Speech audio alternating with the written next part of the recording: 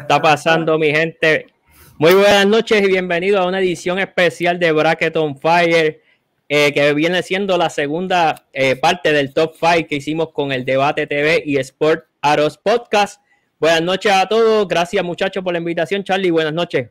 Hey, saludos Yadier, gracias por la invitación, saludos a los muchachos del Debate TV, Trainer, Bye, saludos a todas las personas que están, están ya de, de por ahí, Vamos a darle, yo, yo, mira, yo vengo estos episodios nada más a ver lo que pasa tras bastidores. Después, lo que pasa, lo que pasa en las grabaciones, eso es, eso es como que el postre, pero lo que pasa tras bastidores aquí, wow, wow, wow. Esto empezó, esto empezó caliente y todavía no ha, no ha arrancado el juego.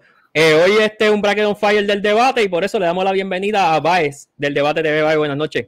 Buenas noches, buenas noches, estamos bendecidos. Eh, gracias a todos los que se están conectando. Gracias por la invitación, Yadiel. Yo creo que ameritaba otro programa así. El, la semana pasada. Saludos a Javier Negrón. Javier, ayer estábamos hablando viendo los capitanes de Arecibo y no estabas conectado, te estamos velando. Eh, realmente el, programa de la semana pasada estuvo buenísimo. Eh, hubo fuego para aquí, fuego para allá. Y obviamente este tema de ahora, el backstage, estuvimos mandando fuego y tuvimos que ponerle el live porque realmente está demasiado interesante. Eh, con nosotros también la contraparte del debate TV la, o la otra parte del debate TV, Trainer. Trainer, buenas noches. Oh, gracias, gracias. Buenas noches a todos. Gracias por la invitación, Yadiel. Estábamos esperando este momento. Yo creo que lo bueno de hacer todas estas cosas es el colaborar, el crecer todo el mundo juntos. La gente le gusta ver estos tipos de juntes y pues de verdad que estamos, estamos sumamente contentos de, de estar aquí y ahora esto, ahora es que, mira, ese fondo tuyo así con fuego. Ay, Dios mío, así está esto. Cristo amado. No, pero es verdad, gracias por, por, la invitación y saludo a toda la gente que se siguen conectando y comentando. Gracias, gracias, gracias a ustedes tres por aceptar la invitación. La segunda parte de lo que fue la semana pasada el programa del Debate TV. Eh, por ahí viene una tercera parte, probablemente en el canal de, de Sport Arrows Podcast. No nos ha invitado, yo me estoy auto-invitando, pero nada, probablemente la tercera parte va a ser allá. Eh, mira, eh, primero que todo, buenas noches nuevamente a todos. Vamos un momentito con los auspiciadores, son la gente que nos traen hasta aquí en el día de hoy. Eh, Joyce por Beauty and Wear, los pueden conseguir en Instagram, eh, ropas personalizadas, fanáticos vaqueros, capitanes de cualquier equipo le hacen la ropa personalizada para que, pues, tú sabes, no vayan con la misma ropa que todo el mundo. So, pueden ir con algo especial para ustedes. Y eh, Chino Barbershop en estilo salón, la gente que me arregla los pocos cabellos que me queda. Eh, 787-451-9081 en Cabo Rojo, todos los del área oeste, gente de San Germán, Mayagüez, Aguada, pueden bajar para ahí y se dan la vueltita. Eh, y el Ludus Screen en Cabo Rojo, eh, abierto seis días a la semana, de lunes a sábado, si no me equivoco. se da la vueltita, puede buscar las redes sociales para más información. Eh, mira, hablábamos ahorita de lo que fue el tema de la semana pasada, eh, que realmente, como tú dices, votamos fuego ahí. Y si votamos fuego la semana pasada, más fuego votaron en los comentarios cuando esta tarde el debate TV subió los cinco de cada uno de nosotros y la pelea estuvo intensa en los comentarios. Mucha gente molesta temprano porque le dejaron a su dirigente fuera al top five, o más bien porque no lo pusieron suficientemente arriba para su para lo que ellos entendían que debió ser su, estado. Eh, nada, aquí están los, los cinco de Trainer, los cinco de Bae, los cinco de Charlie y también están por ahí los cinco míos. Eh, ¿Ustedes quieren saber qué fue lo que pasó ahí? Porque cuál fue la, la los argumentos que nosotros usamos para esos cinco, tienen que ir al canal del Debate TV. Trainer, ¿dónde lo pueden conseguir?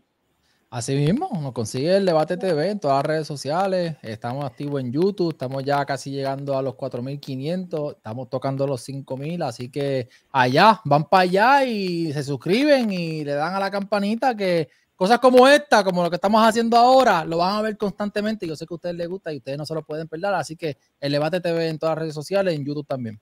Yes, Gente, estamos llegando a las 100 personas ya. Denle share, denle compartir. Aprovechen que hoy no está la casa de los famosos. So, denle para YouTube, denle para Facebook para que nos vean a nosotros y hablar un poquito de lo que es el BCN. este. Nada, está, hablamos de eso. Eh, Charlie tiró un video ahorita eh, hablando un poquito, argumentando eh, sobre por qué Eddie Casiano no estaba más arriba, porque entre todas las quejas, lo más era que por qué Eddie debía estar más arriba. Ese era la, el factor común. que por qué no estaba más arriba, porque los, cuatro lo teníamos. El punto es que no estaba más arriba Eddie y probablemente yo lo querían uno o dos para estar más felices. Eh, Charlie le tiró un videito mandando fuego. Charlie, cuéntame algo de eso. Oye, ¿son o no son? Es la pregunta. ¿Son o no son? ¿Son un buen equipo o no son un buen equipo? Porque yo en el 2022 les dije, yo en el 2022 les dije que ustedes no eran un buen equipo, que se treparon en una ola y esa ola los llevó hasta un momento y cuando llegaron a la final, les dije, la emoción les va a llegar hasta un punto y después tienen que ejecutar, los callos tienen que ejecutar. Y me dijeron, no, estás loco, le parece que tú eres de Bayamón. Y yo, bueno, pues está bien les conté el libreto, el libreto que ustedes escriben, yo se los conté antes de que lo sacaran público. Después en el 2023 me dijeron lo mismo, la ola, la ola, viene por ahí, ya, no nos están respetando, y yo, no, no son tan buenos, no van a coger la liga por sorpresa. Pero era un buen equipo, ustedes decían que era un buen equipo, ahora de repente no son un buen equipo, ahora de repente Eddie Casiano hace magia con el equipo de ineptos que tienen, ¿verdad? Según la gente, muchos de ellos, muchos de ellos, ah, no, ese equipo de Manco y de Bacalao y, todo lo demás, pues esa gente, esa gente, pues, no, mano. Eh, o son buen equipo o no son un buen equipo. Ustedes me dicen. Es la pregunta que yo puse en las redes sociales. Yo necesito que ustedes me digan si son un buen equipo o no son un buen equipo. Pero la gente, fíjate, la gente acogió a la grabación como yo quería que fuesen. Oye, y Mayra, saludo. Eh, Mayra Pavón, ¿te acuerdas? Estaba con nosotros desde Facebook gente realmente contestó la pregunta como, como yo quería. O sea, dieron los argumentos, fueron bien sólidos, el inbox explotó. Y de verdad que la gente de San Germán, y yo le he dicho, no deja de sorprenderme. La gente de San Germán, la fanaticada de San Germán es la fanaticada más fina que tiene el baloncesto superior nacional y no estoy vacilando. No estoy vacilando. De verdad que pueden ir a de comentarios, pueden leer cada uno de ellos excelente. O sea, finalmente hicieron lo que yo estaba pidiendo que hicieran. Oye, dame el argumento real, saca el fanatismo un lado y lo hicieron. Así que de verdad que lo felicito. Bueno, pues este, nada, ya saben, si quieren cachar ese contenido, un poquito más de argumento, fueron dos horas. O sea, fue, imagínate si estuvo duro, que fueron dos horas. Eh, pero nada, hoy el, tema es otro. Hoy vamos a hablar eh, de qué equipo tiene el mejor núcleo de nativos. ¿Por qué yo traigo este tema? Porque yo llevo semanas eh, hablándole a mis seguidores y explicándole que los refuerzos normalmente a, través del torneo se cambian a medida que el torneo va avanzando, porque la idiosincrasia del BCN es que cuando comienzan los refuerzos A, los refuerzos A, A Plus, están jugando en otras ligas, están ocupados y se reportan tarde en el torneo. Entonces, en este momento, pocos equipos han confirmado sus refuerzos. De los que han confirmado, muchos de ellos eh, confirmaron unos refuerzos, pero después dijeron, no, llega tarde, tengo que buscar otro para que empiece el torneo. no tenemos todavía esos roster completos para poder evaluarlos completamente. Entonces yo quiero evaluar lo que es el talento nativo porque en este, este programa Bracket on Fire anteriormente ya hemos, eh, cada vez que debatimos un tema, nos vamos a que el equipo que mejor talento nativo tiene es el que va a quedar campeón. Muchas veces nos hemos em, enamorado de estos refuerzos caballotes, de estos DeMarcus Cousins, de estos Holly Jefferson, de estos Nate Mason, eh, Mike Scott o Hassan Whiteside, pero se nos olvida que el talento nativo es el que gana los campeonatos. Y hoy vamos a hacer algo que es como eh, realmente pues es un supuesto. Vamos a partir del supuesto de que los equipos, eh, eliminando los refuerzos, los refuerzos no pueden ser un argumento para qué equipo va a ser mejor, sino vámonos exclusivamente con los nativos a ver eh, dentro de nosotros cuatro, ¿cuál es el top 5 de jugadores nativos? Se llama bracket on 5, pero realmente no es un bracket de esta ocasión. Vámonos a un top 5 eh, con la misma dinámica de la semana pasada. Eh, nos vamos del 5 al 1 debatiendo.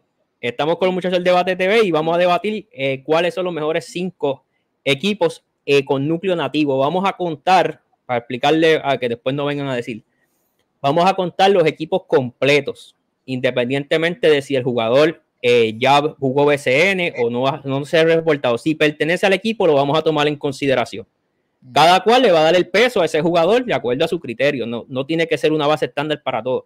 Pero no vengan después, esto no es un power ranking, a decir, ah, Charlie puso a vayamos el número y no entraron. O, o al revés. No, esto no es un power ranking. El power ranking, eso va después. Esto es simplemente evaluar los talentos nativos. Eh, escucho un feedback de alguien, pero no sé de quién es, no sé si es mío. Yo no, yo estoy muteado, son los míos. Yo no- también, yo también, yo también. Ah, pues debe ser tú. mío mismo. Sí. No, pero si la gente no lo escucha, pues podemos seguir dándole. Si no, pues me avisan y salgo y entro y seguimos. Eh, déjame leer los comentarios aquí. Este, están hablándole a Charlie del MVP. No entiendo bien el tema. Eso debe ser allá algo de No, Bayamón. no, no, no toques No le hagas eso. caso a eso, no, le- no le hagas caso a eso. No, estoy bien perdido ahí, de verdad que sí. Eh, aquí están hablando de Angelito, pero eso, a efectos de Angelito, vamos a contarlo porque pertenece al roster de Bayamón. so, no ha habido un cambio, no ha habido nada, es cuestión de tiempo para que firme realmente. Yo creo que esto es más humo que otra cosa, pero ese tema de Angelito, pues lo tocamos más adelante. Eh, nada, vamos a romper con los cinco. Eh, hay Vamos allá. 130 personas conectadas, gente. Amén. Denle compartir encima. si me ayudan. Señor. Le dan compartir eh, y llegamos un poquito más de personas a ver si llegamos aquí. Que Muel llegó por ahí, estaba peleando porque no los conseguía en el canal del debate. Hoy están por el canal mío. Allá, Eh, el sí. debate está ma- mañana ustedes regresan por su canal, ¿verdad? So, que Muel los puedes cachar mañana por allá por el canal del debate. Eh, nada, vamos a romper el quinto equipo eh, en cuanto a talento nativo se refiere. Vale, ¿cuál es el quinto tuyo? Ave María, me tiraste a los lobos al principio. Mira, eh, obviamente, cuando, cuando llegamos a esto del, del top 5, pues uno tiene que sacar los nativos. Y, mano, cuando hice esta lista, saqué ocho equipos. Obviamente saqué ocho equipos. Y se me hizo bien difícil. El- estábamos hablando de esto backstage. Todavía estoy pensando dónde pongo el quinto equipo, porque estoy peleando con muchos aquí. Pero a la hora de la verdad me dejé llevar por con quién yo voy a confiar más estando los jugadores. Estando los jugadores.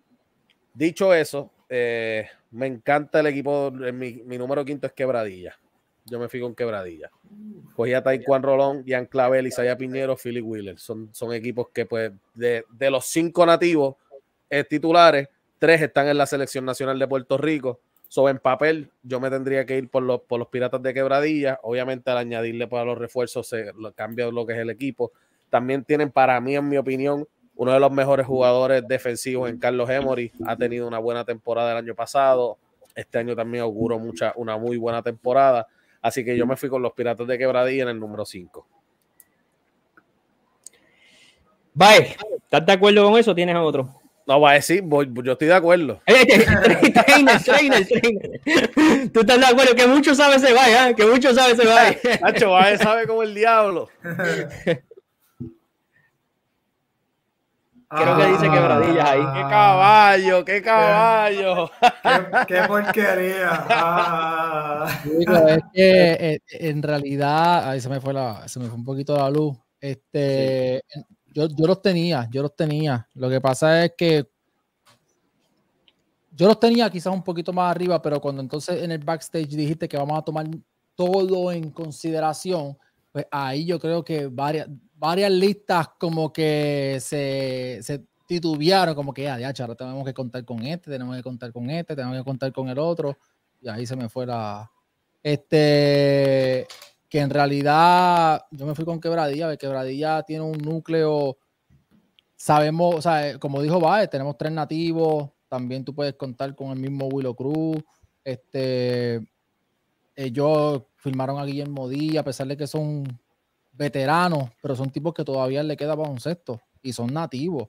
Este, así que yo creo que, que, que Quebradilla para mí, yo lo tengo, yo lo tengo quinto y yo creo que el cuarto le va a dar dolor de cabeza a unos cuantos. Charlie, Sí, ¿te sí, increpa?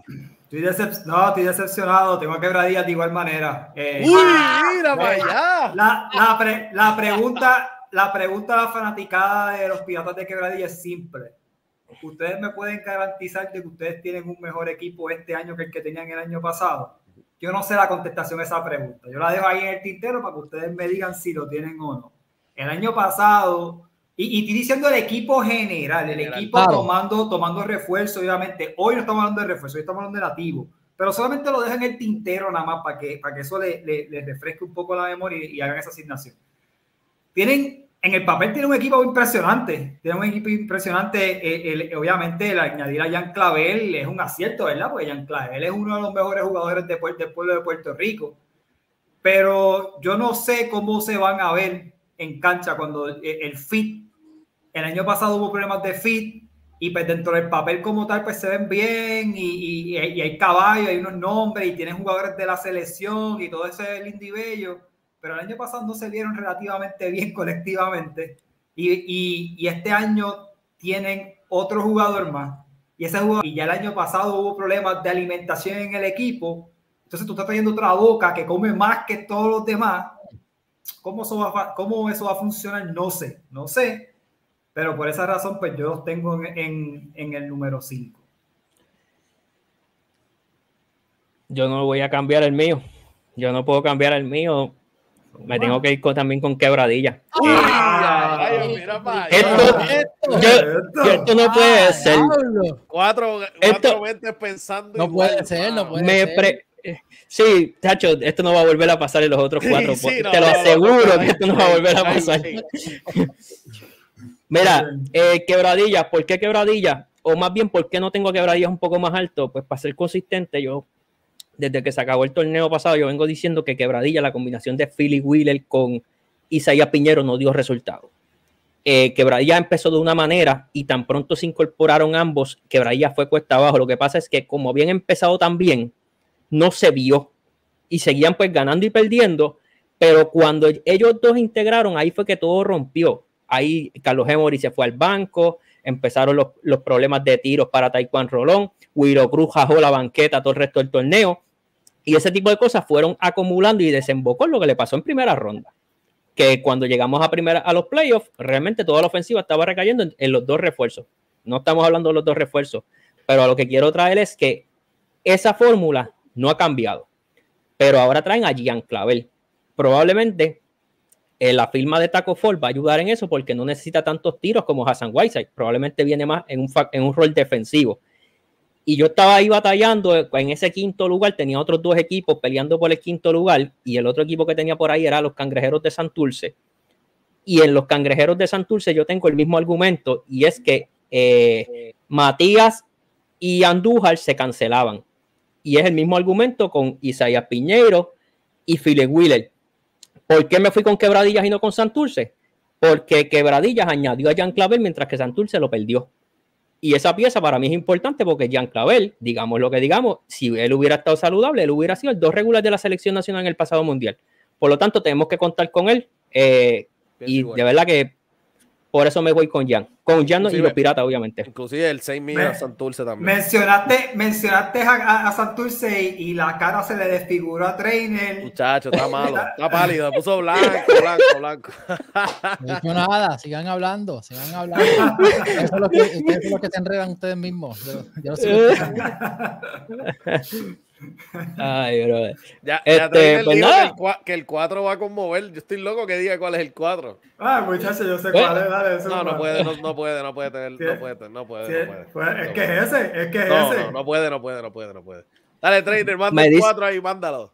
Ah, espérate, mándalo. Espera, un segundito. Este, me dice Alexis que Jan, Guillermo y, y Gilberto nunca juegan. Eh, tenemos que contarlo como que van a jugar, ¿sabes? No puede... Exacto, contándolo como al único, al único que no, que no podríamos contar es a Dimensio Boom, porque ya se anunció que va a estar fuera la temporada completa, pero el resto de jugadores no, no podemos descartarlo.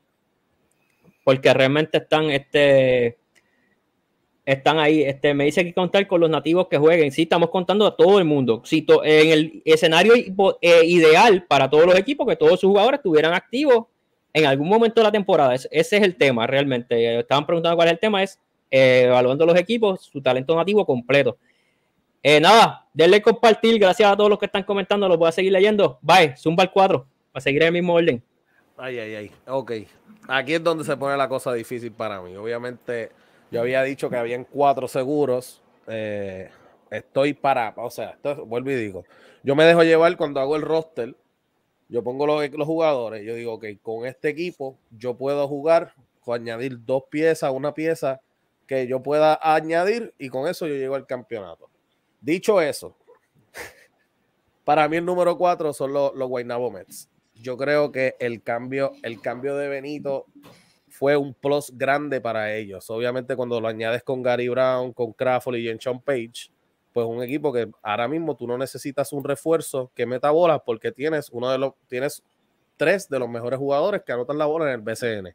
A eso tú le añades que tienen que tú le puedes añadir ahora, por un ejemplo, un Holly Jefferson y ya tú haces un equipo súper potente. Cuando ahora vienes, le añades el segundo, puede ser un Brima que lo que vienes a defender, pues los van a hacer un equipo extra, extra bueno y contendores a campeonato. Eh, yo creo que me tengo que ir con Guaynabo. Obviamente, cuando tú tienes un Gary Brown en la 1, para mí uno de los top 3 mejores point de la liga. Tienes a Jason Page, que es tremendo anotador. Tienes a Benito, que en el corner es demasiado mortal también en el triple. Yo creo que es un equipo que cuando tú hablas de, de nativos, hay que contar con los Guaynabo Mets. Trainer. Ay, Dios mío. El número 4 en mi lista. Cangrejeros de Santurce. Eso, eso, eso ustedes lo saben. O sea, lo que pasa no, es. No, yo lo esperaba primero. Se nos, hacen, se nos hace difícil. No, papi, tú estás equivocado. Yo no sé hablando conmigo. Yo no soy Bae. Bae se lleva un rafagazo innecesario.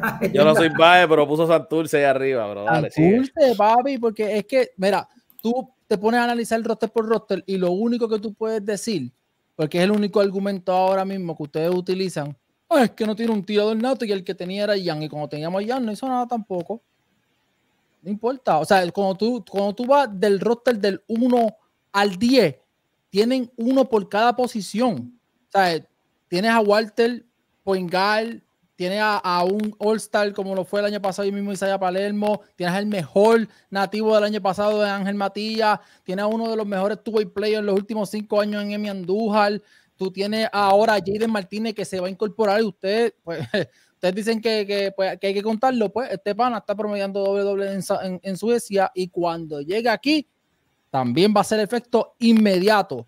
Pues también en los chamacos cuando lleguen. O sea, eh, tenemos diversidad en todas las categorías, en lo que tú quieras. Hasta misma, si quieres añadir a Chris Brady, pues añádelo también a Chris Brady. Pero yo creo que Santurce, en cuestión de nativos y cómo se sigue moviendo, y en los próximos años también están este, teniendo, el año que viene tenemos dos picks de la primera ronda de igual forma. Así que están haciendo lo correcto que lo mismo que tú dijiste, Yadiel, hay que empezar por, la, por, la, por los nativos. Y Santurce lo está haciendo bien.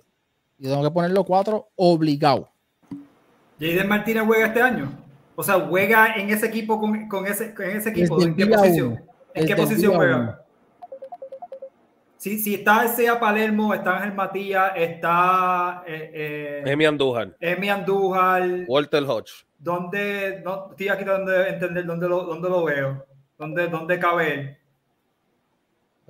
Ah, mira, se fue. Sí, tuvo un problema, parece que hizo señas como que tenía un problema, estaba sonando una llamada, parece que, que le entró. Yo, obviamente, él es, él es, mi partner en crime, es la persona que siempre va a estar conmigo al lado. Él, somos el debate TV y yo. Pero yo les prometo que Santurce no le paga a él para que diga estas cosas. Él simplemente corazón.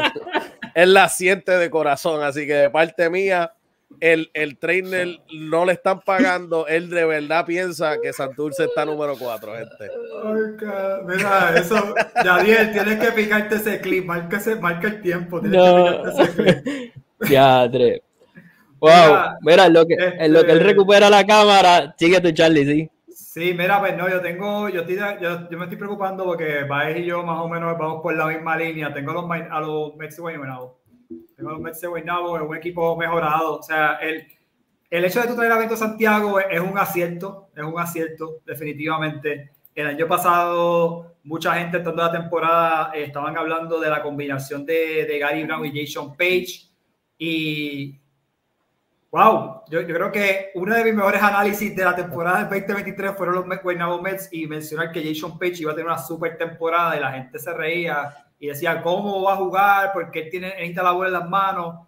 Mano, Jason Page jugaba en NBA. La gente se le olvida que Jason Page ha pisado canchas de NBA y eh, wow, te digo, uno de los mejores scores que tuvo el año pasado. Eh, a mí me gusta el off-season que los, los Guaynabo Mets tuvieron. Yo pienso que incluso Ryan Pearson es un jugador que Bayamón no pudo utilizar correctamente porque pues, venía del banco y jugaba con Cuba al mismo tiempo y jugaban en el mismo área del canasto, sacaban a Pearson al área de la, del área de la pintura, sacaban a la línea de tres puntos y era complicadísimo, o sea, no era su hábitat, era un pez fuera del agua, pero ese equipo, ese equipo a nivel de los nativos, eh, otro jugador que, que la gente se olvida, Jonathan Han, Jonathan Han el año pasado no vio casi acción en el baloncesto superior nacional, y Jonathan Han yo sé que está entrando en edad, y, y, tiene 37 años, pero Jonathan sigue siendo un backup point guard formidable en momentos, en momentos que, que lo necesiten y, y, obviamente tienen a, a Kai Maura, en el caso ¿verdad? de que necesitan un poquito de más juventud.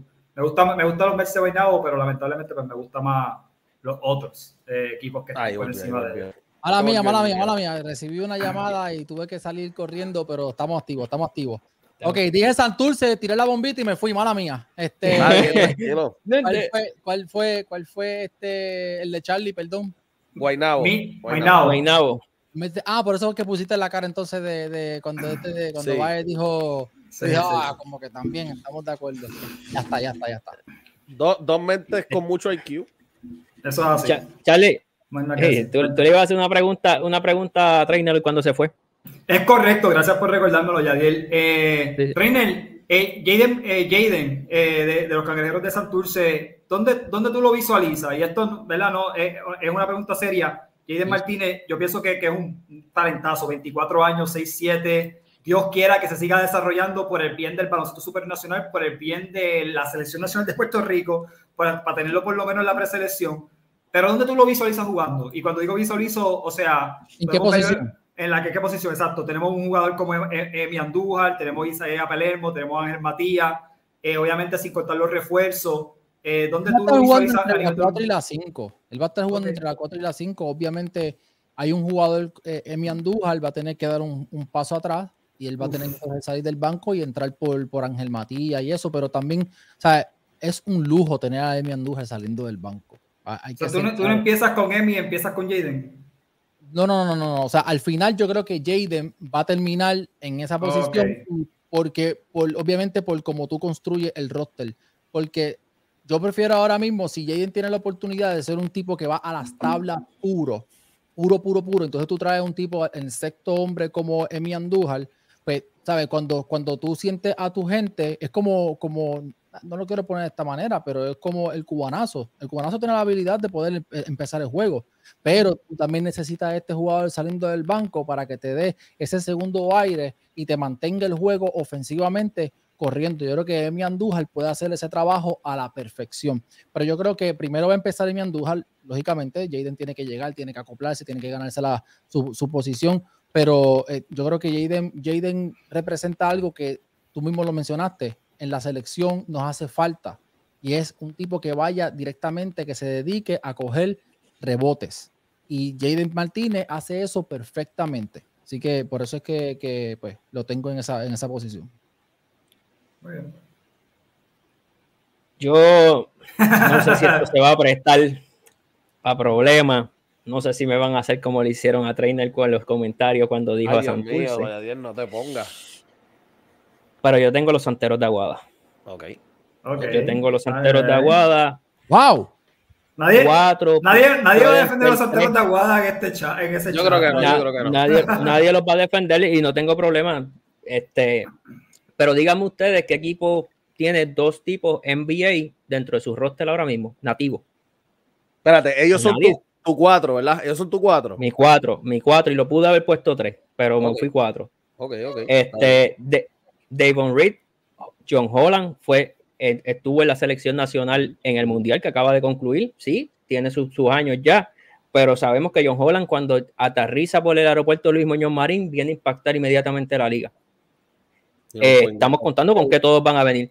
Tienen a Alex Abreu de Poingal, que si bien no es a lo mejor el, mejor Poingal de la liga, no tiene nada que envidiarle ni a Nate Mason, ni a Walter Hodge, ni a Ángel Rodríguez, ni a Tremont Waters. Él es Alex Abreu. No es. Eh, él es un jugador aparte, no estará en la categoría de Ángel Rodríguez, no, no meterá tanta bola como Tremont Waters, pero puede llevar un equipo a la tierra prometida y ya lo hizo. No, no me estoy inventando nada, ya eso pasó. Eh, también tienen al Naldo Toro, que vimos lo que hizo con la selección nacional en la pasada ventana. So, entiendo que están cubiertos. Timash Parker Rivera, un tipo de rol que coge los rebotes. Recuerden.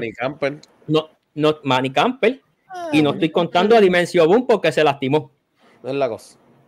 Este, pero realmente No, con también dos a Jesse Febre también, tirado de siete pares. Por- No, no Por es, eso de- no es- no es descabellado pensarlo. Cuando, cuando tú dijiste, cuando nos dijiste obviamente que se podían todo tipo de jugador, yo, yo titubeé entre Aguada y Quebradilla en esa quinta posesión con Santurce también.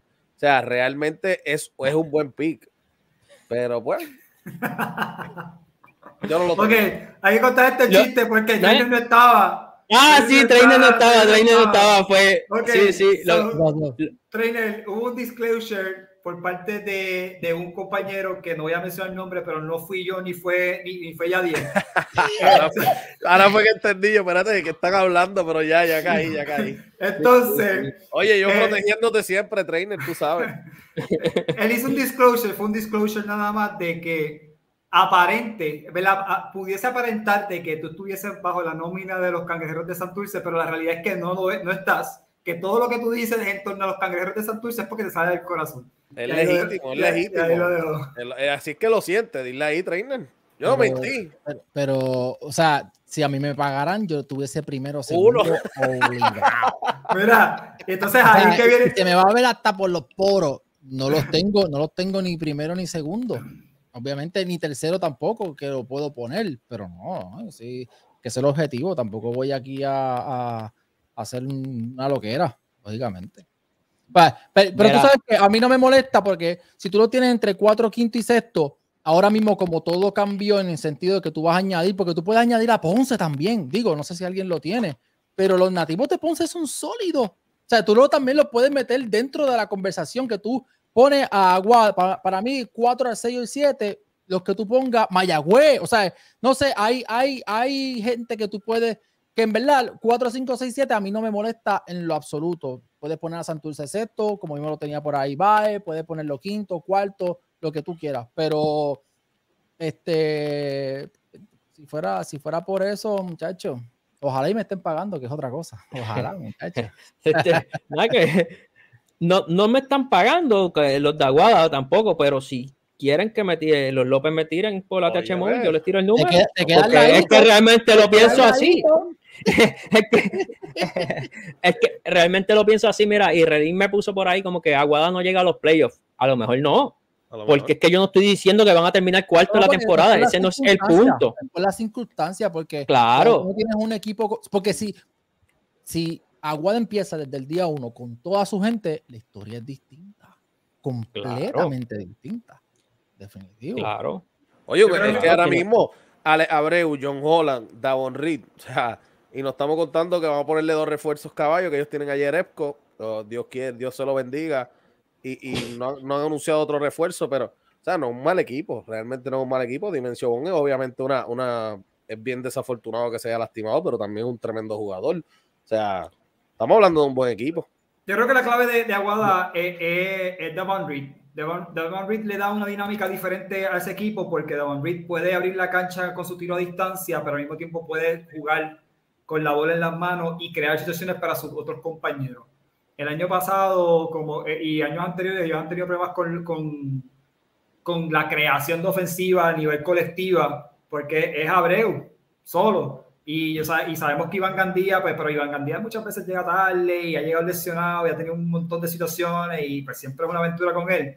Pero ahora yo creo que si de repente tú tuvieses a Devon Reed pudiendo jugar la 3 o la 2 en ese equipo, la cosa, la cosa cambia demasiado. No, muchachos, si tú tienes, tú tienes, a, si tú tienes, por ejemplo, porque a mí me gusta mucho Iván Gandía. Si tú pudieses empezar con el mismo Iván Gandía, tipo inteligente que para, tú tienes herramientas. Si tú empiezas con Iván Gandía, después tienes a Devon Reed y tienes a, a Dimensio Bob, tienes a Naldo Toro en la 5 y en la 4 el que tú quieras así de nativo, hablando de nativo, la cosa, la cosa, a John Holland, tú puedes poner a John Holland 4 y se, la cosa es dura, la cosa se pone dura, pero realísticamente eso no va a pasar. Pues John Holland no llega temprano, Dimensión, porque este, yo no sé si ya Devon Reed llegó a Puerto Rico y está practicando. No, no, no, no, lo- no No, no, todavía. Lo hubieran anunciado, lo hubieran Sí, anunciado. no. so, Es- no- y, digo- y- y Russell dijo Gandía no es mejor que Abreu. Sí, tiene razón, pero Ale Abreu, por ejemplo, yo pongo a Gandía porque Gandía es más poingar. Entonces yo tengo muchos puntos en las manos con el resto. Entonces yo, pues yo prefiero un point guard distribuidor que también sea inteligente, sea un floor general que, que pueda alimentar a los demás, que aunque Abreu definitivamente pues, está aprobado en esta liga. Y Alex Abreu mueve bien el balón. Lo que pasa es que eh, eh, las circunstancias lo han llevado a que tenga que ser más anotador porque prácticamente se ha encontrado solo en muchas ocasiones con, con ese equipo de Fajardo y ha tenido que ir más a la ofensiva que a distribuir el balón. Eh, pero entiendo yo, ¿sabes? Con, con, y no mencionamos a Iván Candía y a todos los que vendrían del banco. Realmente es un gran equipo de nativos, estamos hablando de los nativos y sabemos que llegan tarde. Pero acuérdate que para el efecto del, del, del ejercicio estamos contando como que, todos van a estar disponibles. Por, e, por, eso es que lo pongo ahí. Eh, nada, vamos, vamos con el 3. A ver quién se va a ir quedando fuera. Bye. Número 3, esto es sencillo no lo tuve ni que pensarlo. El top 3, pues yo creo que es bastante sólido. Tenemos que tener todo aquí. Pero el 3 mío son los osos de Manatí. Los osos, de Manatí son un tremendo equipo en papel. Obviamente tienen a Tyler Davis en la 5, Givan, eh, tienen a Howard también, Isaac Sosa, Ethan Thompson. Es tremendo equipo. ¿Por qué no los pongo más arriba? No tienen experiencia. No tienen una experiencia a la hora de jugar el BCN Tan pronto lleguen y ahí cuando demuestren, ahí es donde yo puedo darle respeto. No es un equipo que yo voy a decir, ok, los voy a poner uno, los voy a poner bien arriba. Yo creo que a la hora de la verdad hay que darle respeto a los otros, a los otros dos equipos que tengo. Pero me encanta el equipo de los Osos de Manatí. Creo que lo que están haciendo es increíble. Y lo, lo bueno de los Osos de Manatí es que todavía no tienen dos refuerzos. O sea, cuando anuncien los dos refuerzos, ahí es donde van a ver las cosas volar. Porque son cinco jugadores que yo por, los pondría hasta de titulares a los cinco y los dos refuerzos que vengan del banco. Así de loaded están. A la hora de la verdad, pues voy a tener que coger a los osos de Manatí porque en el papel se ven muy bien, pero son cinco jugadores que todos tienen un rol protagónico. Ninguno tiene un rol de support. Y eso puede ser un problema para los osos de Manatí este año en esta temporada. Vaya, ahora que tú dices eso de un solo refuerzo, o sea, un refuerzo viniendo del banco, Charlie, tú me corrías si estoy mal, o bueno, tú mismo vaya. ¿En el 2009 el refuerzo de Santur de Bayamón venía del banco o empezaba? En el 2009. En el 2009. Yo creo no. El 2009. Si no me equivoco, ese año el refuerzo venía del banco que era Olayuan, algo así. Eh, Olayuan no, tiene un nombre este, raro. Aquí Oye, No, Oye, ese, ese, venía del banco. ese. él venía del banco y los cinco iniciadores eran, eran nativos, porque el, el centro era eh, Dani Santiago, si no me equivoco. Voy a buscarlo, pero me parece que ese, ese equipo que quedó campeón con, con los cinco eh, iniciadores eh, nativos. Sí, si no me equivoco. Ya, están diciéndolo ahí, oye, oye, oye, mira para el nombre. Sí, está, es que está, bien complicado, bien complicado, y está mal escrito, lo están escribiendo. Aquí está, este, espérate. Esta, así es. No, tampoco. Era algo así, es bien raro, bien complicado. Pero ese equipo de 2009, si no me equivoco, eran todos nativos. Eh, trainer, ¿te vas con Manatí también? No. Y, y, la realidad es que si fuera porque no tiene experiencia, pues no lo pongas entonces en el top 5. Porque no, no nos podemos dejar llevar por eso Sí, porque es que es una realidad. O sea, realmente, si, si no lo vamos a tener por experiencia, porque prácticamente la mitad del equipo no ha tenido experiencia en el BCN, y si podemos decir que por eso es que yo lo tengo arriba, es porque los cinco titulares pueden ser cinco de la selección. Pueden ser cinco selecciones fácilmente. De la 1 a la 5. John Howard, Ivan Jackson puede hacer la selección, obviamente no lo va a hacer, pero puede hacer la selección. Isaac Sosa, este, Chris Ortiz, tienes a Morales, tienes a, bueno, después vamos a hablar de los osos de Manatí, pero yo aquí estamos hablando de talento wise, completamente talento, no en cuestión de experiencia, porque si fuera por eso, pues yo tengo que sacarlo completamente. Para mí ahora mismo, y lo puse a la ecuación por, lo que tú habías mencionado, este, Yadiel, es Bayamón. Hay, que tener a, Bayamón. Yo tengo a Bayamón número 3 porque Angelito, pues, sabe, dentro de todo está en el roster, aunque quizás no vayan a contar con él. Pero como está, pues tengo que ponerlo porque hay que darle el respeto. En los últimos cuatro años, el, el, el como se ha caracterizado este equipo de, de, de, los vaqueros de Bayamón es por su grupo nativo, de que estén acoplados y puedan cada uno poder eh, maximizar el rol que les toca a ellos. Eh, tienes un lujo, que tiene a, un sexto hombre que son de los últimos, de los últimos dos o tres este sexto hombre, se lo ha llevado el de Bayamón, que es Ismael Romero, jugador de la selección. Obviamente, este, pues, tenemos que contar con, con Stephen Thompson, eh, tenemos que contar, eh, obviamente, con Angelito, que yo creo que ese es el peso, eso es lo que realmente los lo pone. Una baja sensible que es Benito, este, pues con, estas adquisiciones que tú estás poniendo, pues quizás no vaya a cubrir ese espacio que, perdiste, pero son buenos jugadores que están bastante probados en la liga. Para mí, Bayamón, este, por el hecho, y no está más arriba porque perdiste a Benito. Eso, eso es lo que yo quería decir. Al perder a Benito, pues yo creo que pues yo lo tengo tercero. Charlie. Estoy de acuerdo con Trainer. Yo tengo a los vaqueros de Bayamón número 3 en el listado. Eh, es, difícil mirar el panorama y tú decir como que uno de tus mejores jugadores tiene 39 años y vas a demandar de que él se convierta en uno de tus mejores anotadores en, gran parte de la temporada. Javier Mojica. Eso es complicadísimo. O sea, Javier Mojica, el que escucha Sports los Podcast sabe que yo lo quiero y lo amo y todo, pero son 39 años y no se llama LeBron James. Así que slow down. Y añádele a eso, eh, yo sé que la relación entre Benito y la fanaticada al final se, eh, se, se, se, separó, ¿verdad? Pero Benito sigue siendo Benito Santiago. Claro. O sea, tienen que bajarle con la cuestión de que Benito, la gente a veces, como, como ya Benito no usa uniforme de los vaqueros de Bayamón, la gente lo tilda de, de, de cualquier tipo. Él no es cualquier tipo.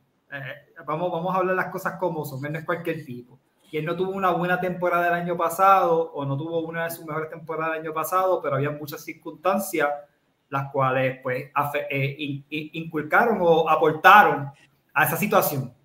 Y obviamente, y sí, él tiene culpa también de situaciones que ocurrieron de igual manera, pero sigue siendo un buen jugador y Bayamón no lo tiene. O sea, sea empezando, sea viniendo del banco, tú quieres un tipo como ese, sea donde sea, en tu equipo, y tú no lo tienes. Entonces, tiene la situación con Ángel Rodríguez, que ni voy a, ni voy a aportar a eso sustituye a, Benito con Onsi Branch, que es tremendo jugador, un tremendo role player, pero no tiene tanto los puntos en las manos, o tú para ganar juegos tienes que meter puntos, yo creo que eso estamos bastante claro.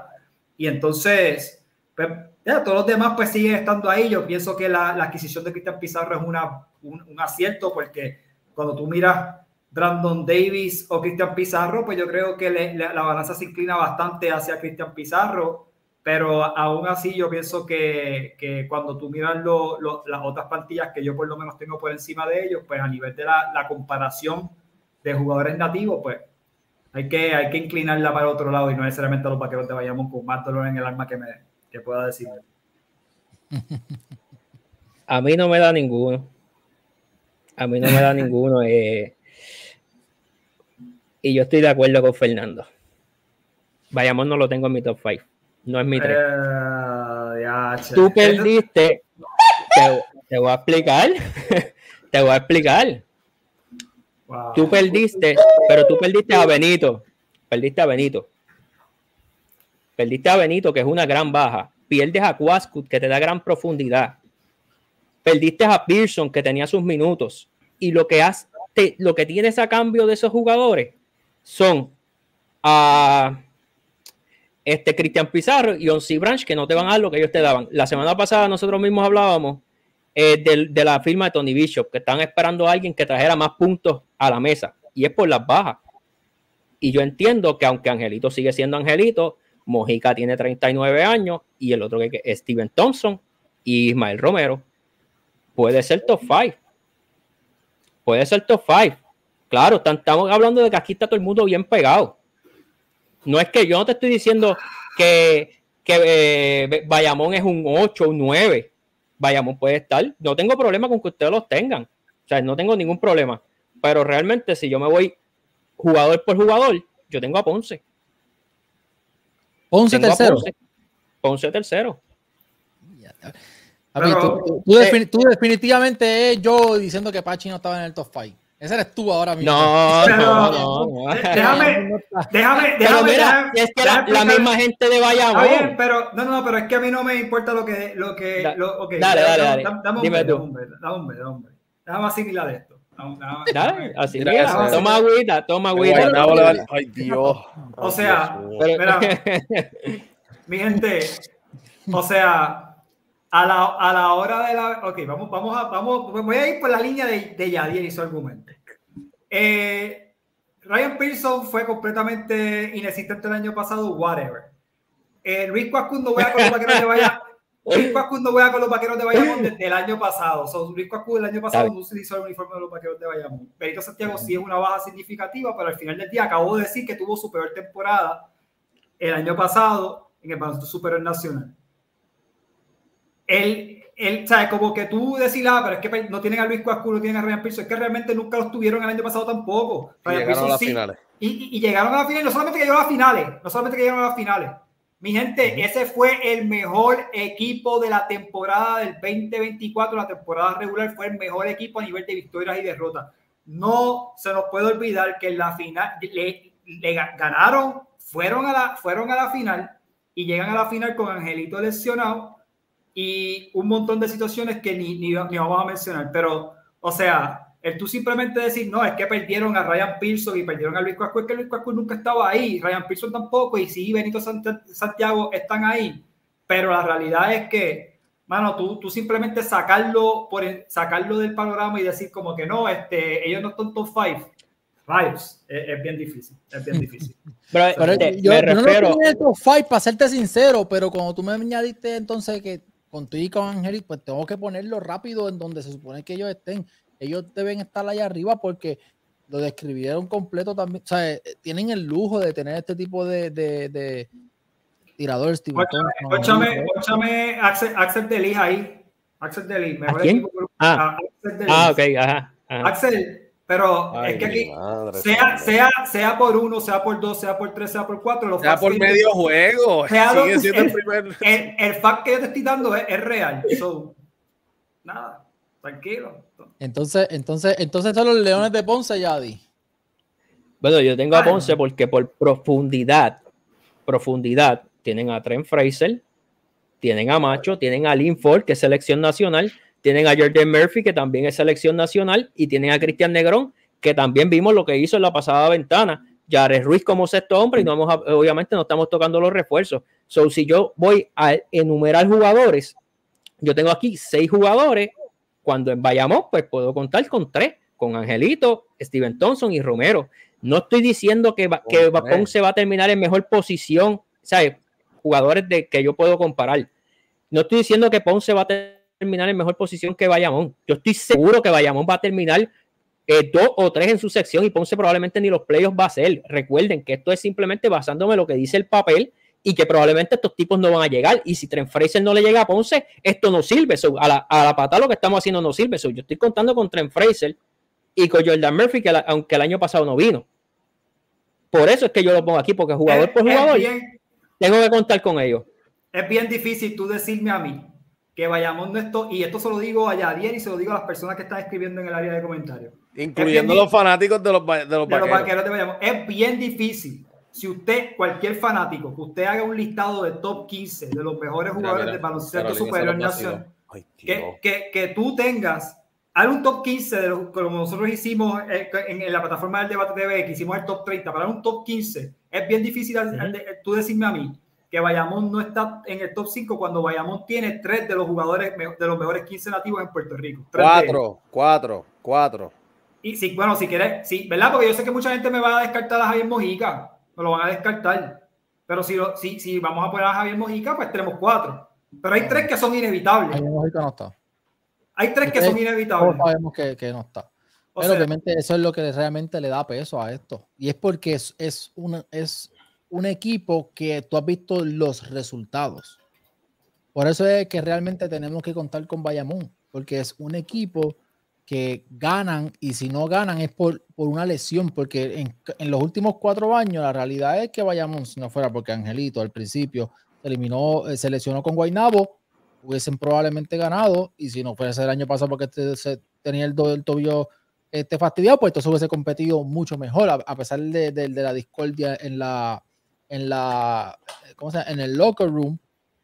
pudimos ver que como quiera ellos compitieron, pero eh, eh, es, son nativos que han visto resultados. Tú sabes lo, brutal de todo esto, y perdona que te interrumpa, Trainer, me tocaron la fibra y estoy dolido, ojalá mía. no puedo creerlo todavía. no puedo creerlo todavía. Pero, pero ¿tú, sabes lo que, tú sabes lo que está brutal de todo esto, es que, y esto yo le he dicho en mi plataforma, a la fanaticada le gusta argumentar cosas con escenarios hipotéticos cuando yo te hablo con la verdad.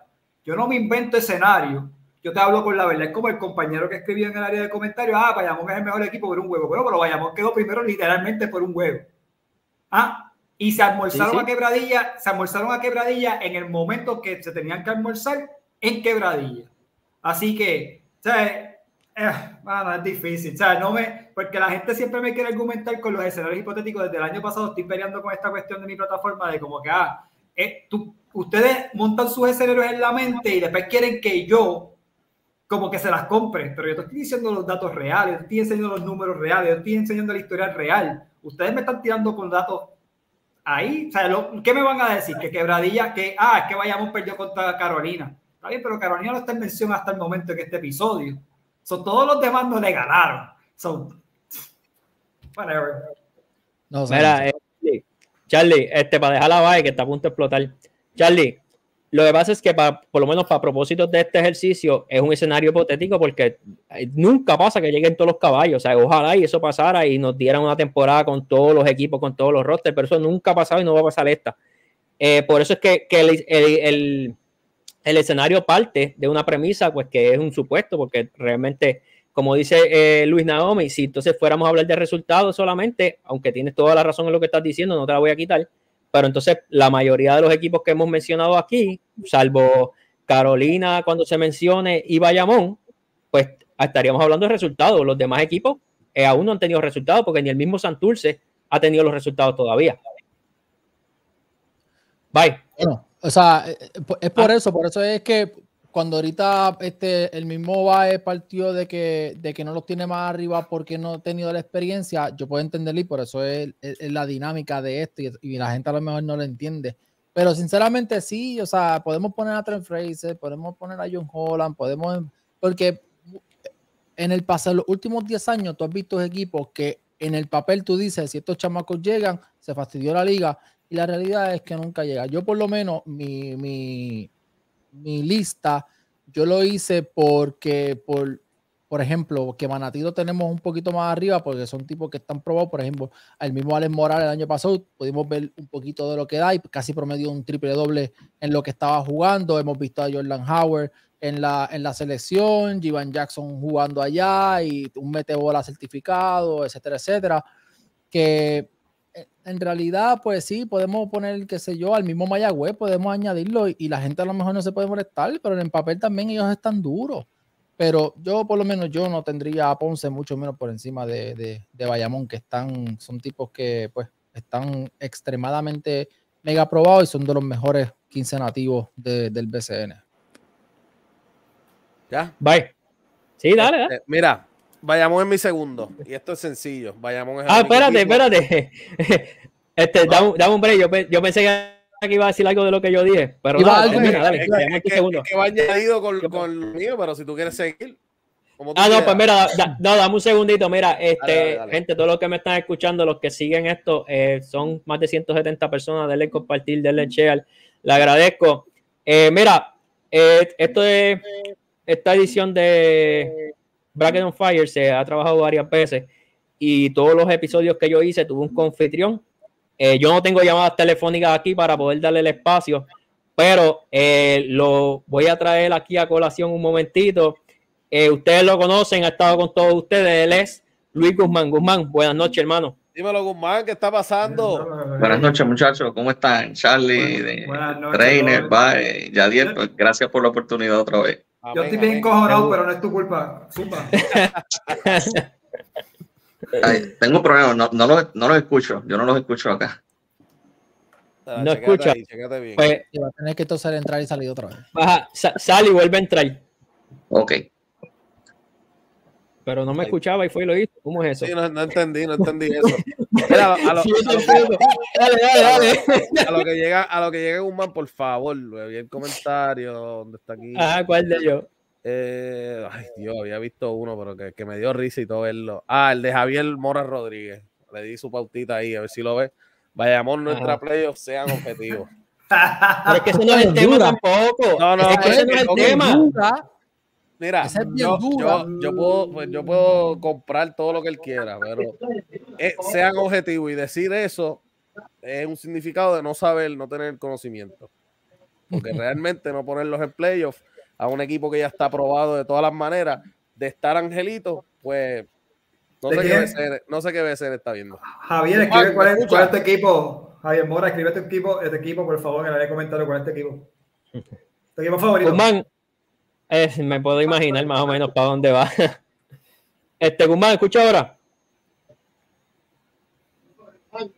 Pero, se escucha un poco de feedback, se escucha el feedback. Sí, se escucha el feedback. pero te escucho, hermano. ¿Me, estoy escuchando? Sí. Sí. Se escucha mucho está escuchando. Tiene, tiene, un, tiene un este, delay. Sí, tiene un delay. Este, nada, vamos a seguir acá. Yo, yo, yo, yo lo contacto ahora. Este, me preguntaban el, el equipo favorito, no sé, pregúntale a ver, probablemente yo creo que es del suroeste. Eh, bye. Mira, eh, pues para seguir aquí, el segundo es los vaqueros de Bayamón. Y esto es sencillo, yo no tengo que darle muchos datos como Charlie, pues yo les voy a decir la verdad. Los vaqueros de Bayamón llevan tres años sin tener refuerzos de impacto y las tres veces llegan hasta el baile.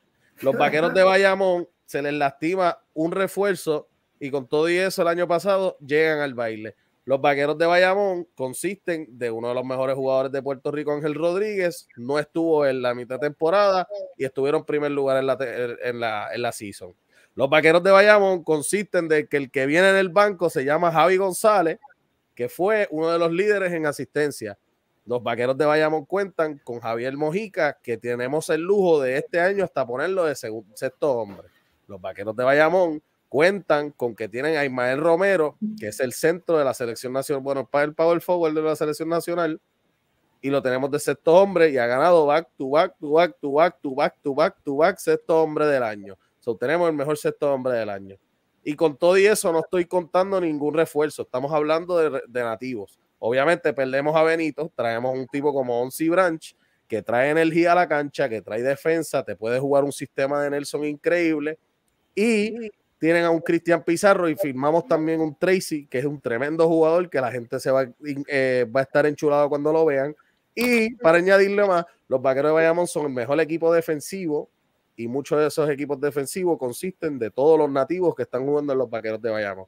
So, a la hora de la verdad, cuando tú tienes que hablar de nativos en Puerto Rico, los vaqueros de Bayamón tienen que estar en tu lista. Yo los tengo dos, porque es un equipo que tú puedes a ojos cerrados escogerlo, ponerle dos refuerzos y tú tienes una probabilidad de llegar a las finales mucho más alta que muchos de los equipos que estamos mencionando aquí mismo.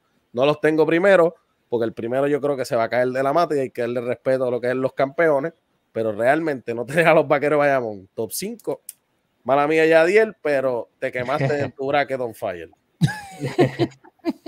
este, Guzmán, ahora sí, hermano, chequete a ver si te escucha para que tires tu comentario. Sí, ahora sí que yo estoy seguro que se va a escuchar. buenas noches. Ahora sí, buenas noches, Guzmán.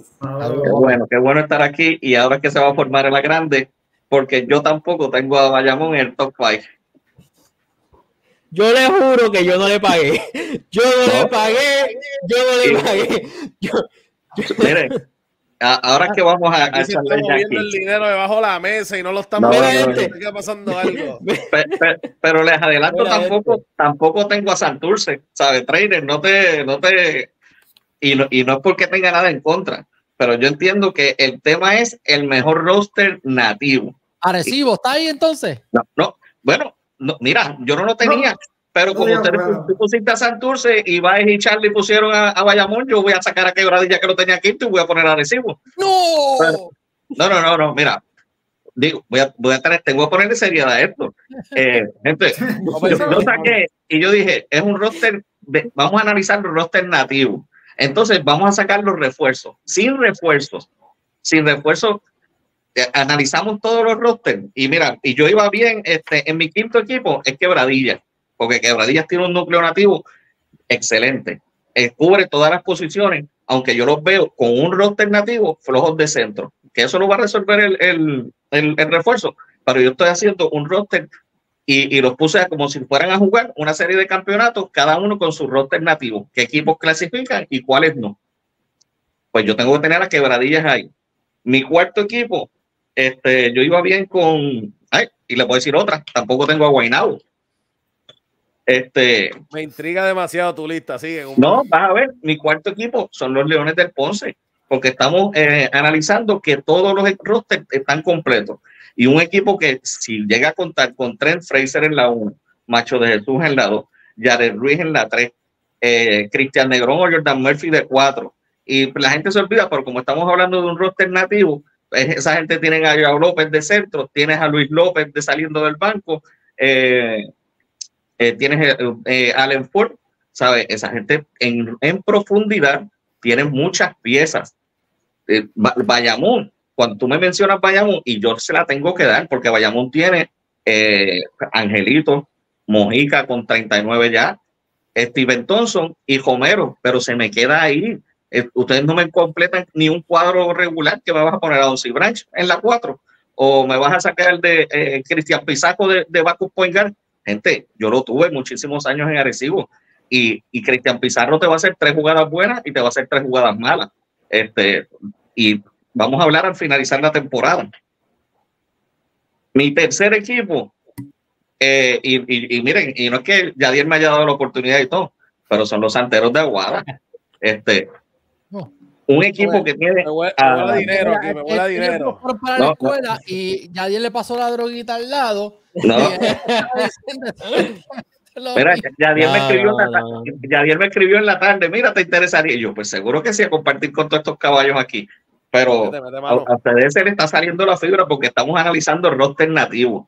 Y, y, No, y- y- y si los ponemos a jugar, eh, esos rosters nativos, como uno, eh, una serie o lo que sea, y, y ustedes me disculpan, pero ni Bayamón ni Si tú, Santurce si tú pones, si tú pones a- a- vamos a irnos por, el- por la tangente de, de Guzmán, si tú pones a ese equipo a jugar, Ajá. todos los equipos a jugar, y tú pones a Ponce contra Bayamón, nativo contra nativo, todos los que tú pusiste contra Bayamón, con Angelito, con Steven Thompson, con Javier Mojica, con Ismael Romero y cualquier otro gato que tú quieras, tú me vas a decir que, que, y- que Ponce, Ponce me gana, Ponce me gana a mí.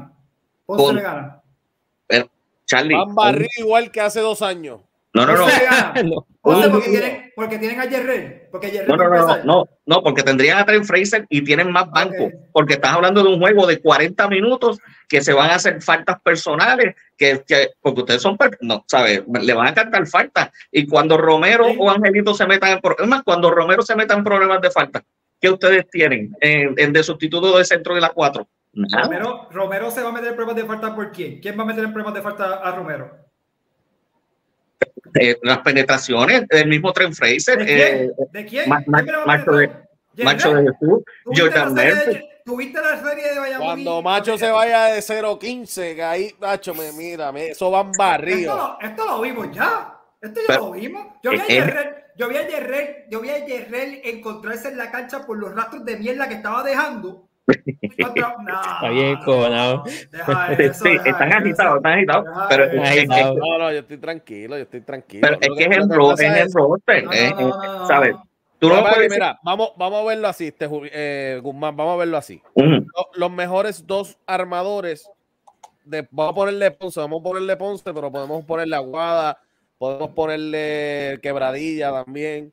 Los mejores dos armadores los tiene Bayamón, que son Angelito y Javi González. Ahí estamos de acuerdo, ¿no? Pues, bueno, eh, no estamos viendo a, a, ¿Cómo? a, a- a Trent Fraser, no lo hemos visto jugar aquí. Y Trent Fraser, es un Trent Fraser- armador, no es- no es un- no un- Trent Fraser no es un, no armador. No armador. Eso, Fraser lo que hace es meter la bolita. Por eso, por eso. Ok, pues está bien. Entonces Macho hace lo mismo. Son, son, dos, son dos machos que van a ser iguales. Pero Sí, está bien. Cuestión de armadores. Bayamón. Vamos tiradores. Vamos tiradores. A la hora de la verdad, ¿quién tú prefieras? ¿Javier Mojica y a Steven Thompson? ¿O a Yare Ruiz y a Yerriel de Jesús? pero, ¿y, dónde, pero ¿y dónde me dejas a Luis López y a Allen Ford? Pues, pues puedes añadirlos, puedes añadirlos. ¿Son Pero- mejores tiradores que Steven Thompson y Javier Mojica? Vaya, ¿sabes? En me- yo, tú no me vas a, ¿sabes? Yo, y, y- y estamos defendiendo roster, profundidad. En un juego, con, e, con ese núcleo, con ese, no, ustedes que no, no tienen banca, ustedes no tienen banca, a menos que no den faltas personales, pero es que no, eh, ustedes no tienen banco para los hombres altos. Ahí, ahí no, no va a haber forma que tú me digas que, que Romero solo, Romero y Branch se, se, se, va a batallar con, con Yao López, con Allen Ford, con eh, Cristian Negro. Problema. Y, me, estás poniendo con Jordan López, me estás poniendo a Yao López contra Romero. Romero le da vuelta tres veces a la cancha y Yao López no ha llegado al otro lado. No, ya López lo que va a jugar son cinco minutos. Los cinco minutos ¿quién, que va, no... ¿quién, va, ¿quién va a ser el cinco entonces? Jordan Murphy. ¿Vas a poner a Jordan Murphy en la cinco? Podrías poner a Jordan Murphy o, o, a, o al mismo Cristian Negrón, cualquiera de los okay, dos. Ok, pues ninguno de los dos va a ser un buen matchup contra Romero. El matchup de hombres grandes, le guste el que no le guste, Romero se lo va a vencer de todas las maneras. Lo, lo que pasa es que este va, Romero es un, un, mismatch para casi todo el mundo. Por, por eso es que no, es tan bueno. Es, porque ese es un mismatch para casi todo el mundo. Mía. Eso es ventaja de Bayamón. Está entonces. bien. Pero no vas está bien, pero no, un, no vas a jugar los 40, no te, va, no te puedes jugar los 40. Pero es que yo no necesito que juegue los 40, yo necesito que él domine la serie. Ya. Él va a dominar la serie. Y en cuestión de Entonces, equipo, tú metes, en tu, cuestión mejor, de equipo tu, nativo, mejor argumento, tu mejor argumento es que eh, alguien lo va a meter en problemas de falta. ¿Quién exactamente lo va a meter en problemas de falta? Porque Yao López no va a ser. No. Ah, no, no, no, no. Y Jordan Murphy, que es un caballo, by the way. Es caballísimo. Y ya Dios sabe que lo hablamos. Me encanta Pero- Jordan Murphy. Pero De no, hecho, esa no, combinación de Jordan Murphy con Christian Negrón. Me encanta. Durísimo. Me encanta. Oye, Ah, durísimo. ah, la, la, la, combi- la combinación es, la combinación es buena, pero Ponce no sirve. No, no, no, Nadie no, no, que nadie está diciendo, nadie está diciendo ha que dicho que Ponce no no sirve. sirve. Nadie ha dicho que Ponce, eso. nadie ha dicho que Ponce no sirve. Es que Está Pero bien, la verdad. En cuestión de nativos, ya Bayamón ha demostrado que defensivamente, como defienden, no necesitan ni, ningún refuerzo tampoco. Se lastimó Wiley con todo y eso llegaron al baile. Y, y no solamente que se lastimó Wiley, Wiley era el mejor anotador del equipo. Bayamón Ya, pierde y- al mejor anotador del equipo y Bayamón como quiera llega a la final. Claro, o sea, Y hay la, que, hay que y gente me eso. está- y la gente me dice a mí, no, ocho, no, no, hacen, no hacen los playoffs. Guzmán, dame tu dos y tu uno. Mi dos y mi uno. Mi dos son Ajá. los gigantes, los gigantes de Carolina. Los tengo número dos. Y vuelvo a lo mismo. Estoy analizando roster, el roster completo. Y Carolina tiene un roster de, de, de siete pares. ¿Sabes? Tremont Waters, eh, Joe Cruz. Eh, ya quieres poner a Luis Cruz en la 3. Eh, Franklin o de Andre Domínguez en la 4. George Condit de centro. eh, David Huerta saliendo del banco. KJ Maura. eh, ju- eh, ju- el Torres, el muchacho que juega de sustituto de centro para, para Condit. Tienen a Isaiah Manderson, que la gente, muchos no lo conocen, pero no todo el mundo tiene un 6-10 que, que te juega defensivo en la, en, en la liga. Y tienen a JJ Romer. Esa gente tiene un roster nativo espeluznante, de verdad. Y mi número uno, pues son, no lo han mencionado, pero los osos de Manatí, que yo entiendo que ustedes los tienen muy, muy abajo. Eh, ese roster nativo está muy sólido. Entonces, no le puedo comprar lado de parte de experiencia porque eh, Jordan Howard y G. Anderson están jugando en buenas ligas. Entonces, son tipos que matan. Y a eso le añades Ethan Thompson, Alex Morales, Chris Ortiz, Tyler Davis, eh, Isaac Sosa. Se la gente se olvida que tienen a Witan, eh, que, ah, es un tipo, un role player que te hace el trabajo. Y, y, en el último, esta gente le regalaron casi a, a Cleon que no juega mucho, pero tienes un, centro de siete pies ahí que si te puede jugar un par de minutos para dar un par de tapones. El roster de, de Manatí está, está, está fuliado.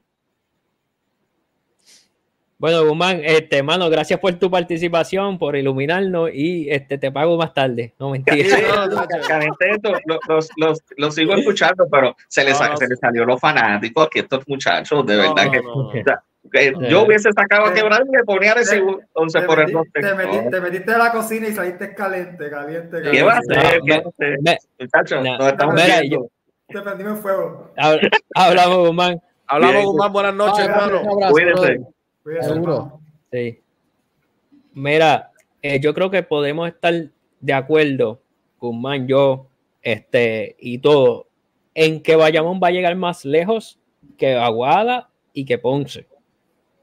Eso yo creo que se puede estipular, ¿sabes? Eso no es lo que yo dije. Yo lo que dije es que hombre por hombre, a mi gusto, a mi opinión, entiendo que tienen un poco más de profundidad esos dos equipos.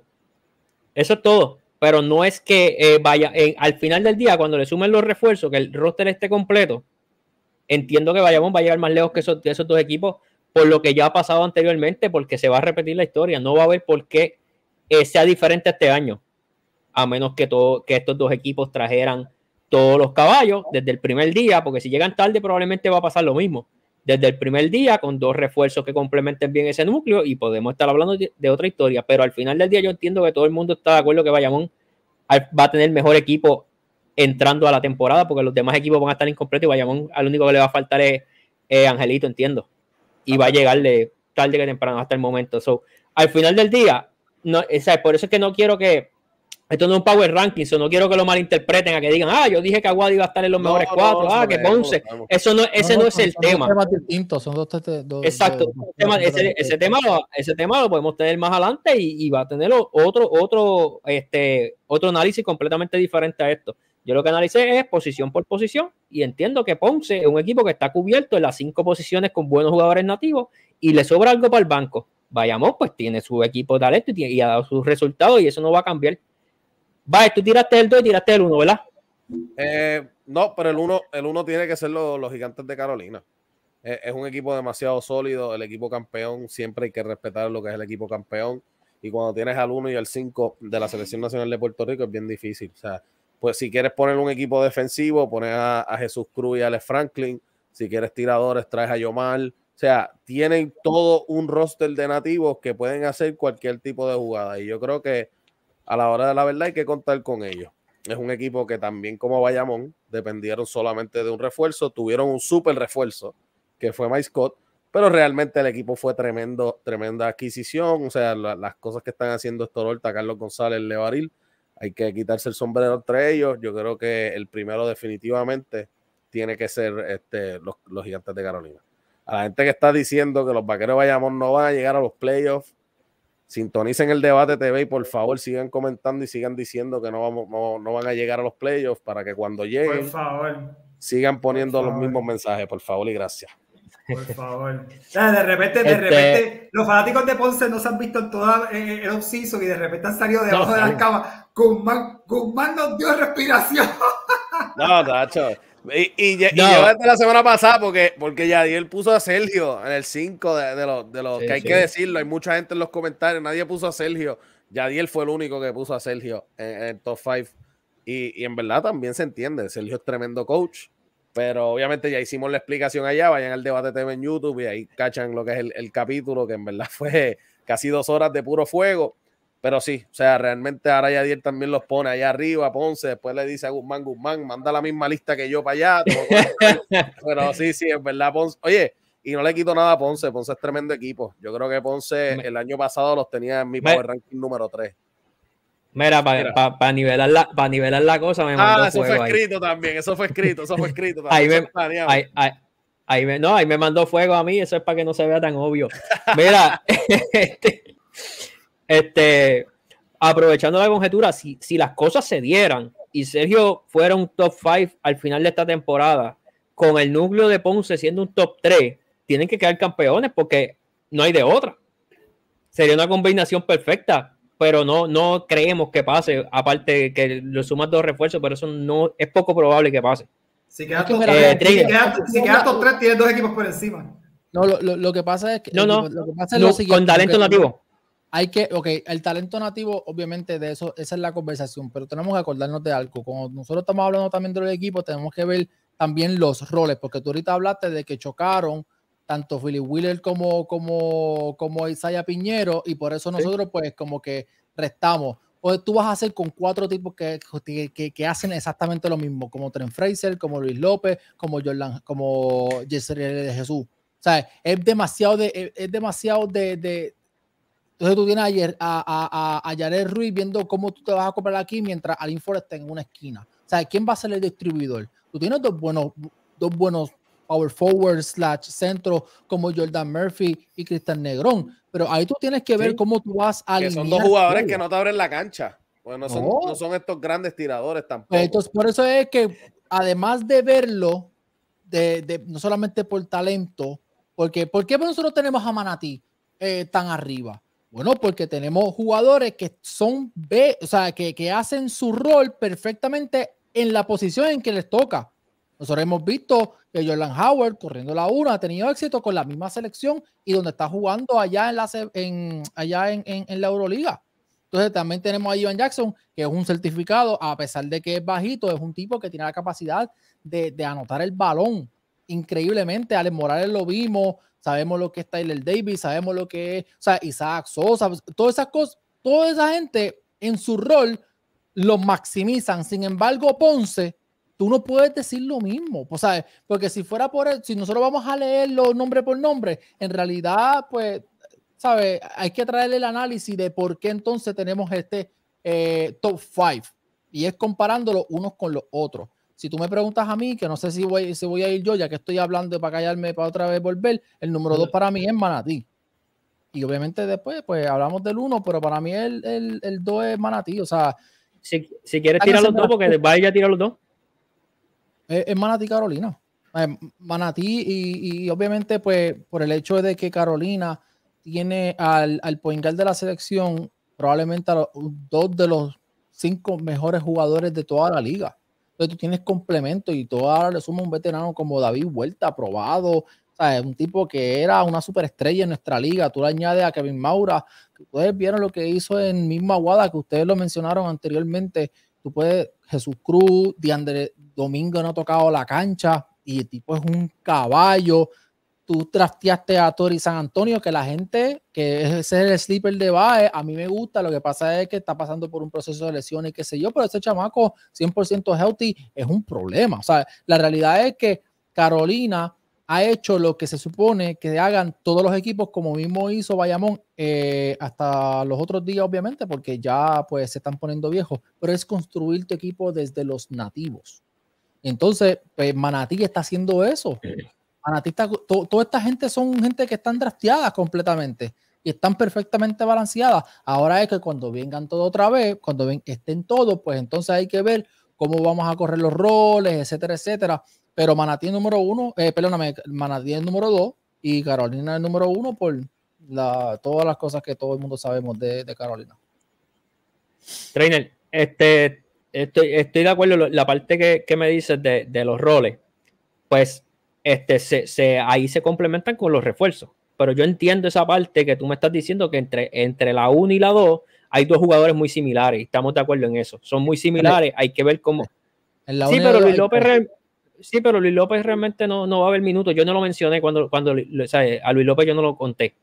Pero tú yo te fui hasta Yares, Ruiz. Es uno de los, de los gares más mejores anotadores de la liga. Le prende el equipo sí, de sí. Pues sí, tienes que sí, ponerle. ¿Cómo tú vas a engavetar a, a, uno de los mejores gares anotadores de la liga y lo vas a engavetar porque está ahí Trent Fraser y, y, Macho? Tú tienes que buscar. Yo, yo no lo, ¿Tú sabes, ¿Y tú sabes lo que te hay, que buscarle, hay, que, hay que buscarle un hueco. Probablemente le van a buscar el hueco en otro equipo. Si eso pasara de que vinieran ambos, lo van a terminar cambiando. Está bien, pero Digo, como quiera, probablemente lo cambie. Como está, y por eso es que está bien. No estamos, no, no, no, no, te me desvíes, por eso es que no, no. llega a la colación, porque estamos viendo, sí, Aguada y toda la cosa. A mí me gusta más y me hace mucho más sentido Aguada, porque pues tú tienes a un 2 como Jesse Febre, que hizo el trabajo. Manny Campbell, pues está bastante probado que no hizo mucho. Tú tienes Iván Gandilla con, con, con, con este Abreu tienes a Dimensión con, eh, con, ahora con Devon Reed, este, tienes a Arnaldo Toro, tienes a Timash Parker, tienes esos tipos que están, están bien divididos en sus posiciones. Pero Ponce, a mí eso no me, no sé, no, no sé, no. Por eso es que no, no la compro Never. Es más, los lo, lo, lo, fanáticos de Ponce ni, ni, ni, ni, ni, caso le están haciendo ahora mismo a, a, al equipo de Ponce, muchachos. Son, son como las letras, todas son el mismo tamaño y el mismo color. ya. ¿Tienes, ¿Quieres dos clips, por favor? Tienes que pochar esto, Yadiel. Tienes que pochar esto. Eh, van a venir, ahora van a ir para, para, para allá para el debate y a El debate para... TV, dale subscribe, dale a la campanita y sigue mandándome eh, fuego si eres de Poncha eso, poncha eso. No, mira, no, hay, una, lo, no hay unas palabras mira, más proféticas que va a decir lo que acaba de decir. Yo, yo digo una cosa, ¿sabes? Si los fanáticos de San Germán son intensos, los de Ponce son tres veces peor. Lo que pasa es que están apagados. Sí. Que esa gente se llegue a colar en una final. Pero Guzmán lo sacó de abajo de la cama. Y otro cuento, Charlie. Tira los tuyos, va. Mira, mi, mi, equipo número dos es, Manatí. Eh, ¿Verdad? Este, lo que está haciendo Manatí es espantoso. Es verdaderamente espantoso. Eh, entonces, el año pasado, eh, cuando hicimos el análisis, yo decía, lo que Carolina está haciendo es espantoso y, y pues vimos lo que hicieron lo que está haciendo Manatí. Manatí puede jugar sin refuerzo esta temporada del 2024 con todos sus nativos y es uno de los equipos favoritos a ganar el campeonato de la temporada. Ah, sí. Y eso, ya, no hay, no hay mucho más análisis que se pueda decir al respecto. Eh, so, vamos a ver qué ocurre con ellos, de verdad, pero lo que están haciendo desde el año pasado, eh, mucha gente el año pasado los estaba analizando en el papel, y, con la expectativa, entrando a, lo que es Power Rankings reales, yo decía, ah, ellos no van a estar completos este año. Pero este año no pinta igual, este año todo apunta a que se van a ir por el otro lado. Ya tenemos a Tyler Davis en Puerto Rico, quien hubiese dicho hace dos meses que Tyler Davis iba a pisar Puerto Rico. O sea, y de repente este para llega aquí es como que, wow. Este, no, ese equipo de verdad que lo que están haciendo, me quito el sombrero, de verdad ese equipo lo que está haciendo es espantoso, espantoso, espantoso. Y mi, número uno es Carolina. tú, tú, ganas, tú ganas el campeonato, tú tienes a, hicimos un top 30, tienes de los dos mejores jugadores según el consenso de, del listado, los dos mejores jugadores del listado, yo no estoy de acuerdo con ese top 2, pero por mínimo, mínimo están top 3. Eh, ya, o sea, es complicado. Tienen a Yomar, tienen a Yomar, tienen, tienen, tienen un equipo, tienen un equipo interesante, entonces pues pierde un poco de veteranía con Filiberto y, y, yo sé que la gente decía, ah, Filiberto está bien viejo, pero Filiberto le trajo una estabilidad increíble. Y ahora pues trae a David Huerta, que, que, que pues, obviamente está teniendo los últimos cartuchos, pero más que nada David Huerta le, le, balancea un poquito esa veteranía que Filiberto el año pasado les dio y el mismo Bimbo. Y de verdad que Alex Franklin es un super jugador, eh, eh, Evander Ortiz, Jesús Cruz, eh, no hay mucho más que decir, o sea, los, resultados hablan por sí solos. Ese equipo es campeón y no hay mucho más nada que decir. O sea, eh, a diferencia de muchos por ahí, eso no es hipotético. Eso eso, ellos lo hicieron de real. Pues estamos de acuerdo en el 2 y en el 1. Eh, entiendo que todo el mundo lo puso. Vaya, fue el único que puso Manatí tercero. Este, pero yo también me voy con Carolina primero. Segundo tiene que ser Manatí. Eh, obviamente Manatí tiene que probarse, pero estamos hablando de lo que hay. Y realmente el cuadro de Manatilla, ustedes lo han mencionado, este, Jivan Jackson, eh, eh, Howard, eh, tienen a Morales, que hubiera sido el, novato del año si no se hubiera lastimado, Chris Ortiz de selección nacional y Tyler Davis. la única incógnita con Manatí para mí es la estabilidad emocional de Tyler Davis. Es algo que hay que tocar con pinza porque realmente la salud emocional es algo pues, poco complicado de hablar. Pero realmente eh, el muchacho en cualquier momento, más allá de la salud física que, está en juego cada, en cada segundo que los jugadores están en cancha, la salud emocional puede afectar un, es un papel muy importante en, lo que es ese equipo.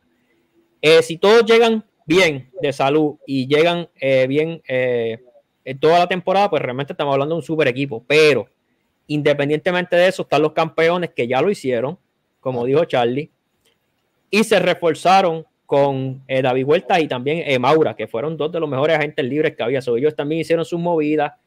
Eh, Domínguez es el que no ha jugado, eh, Isaiah Manderson que no ha jugado. So, se refuerzan un poco más ahí.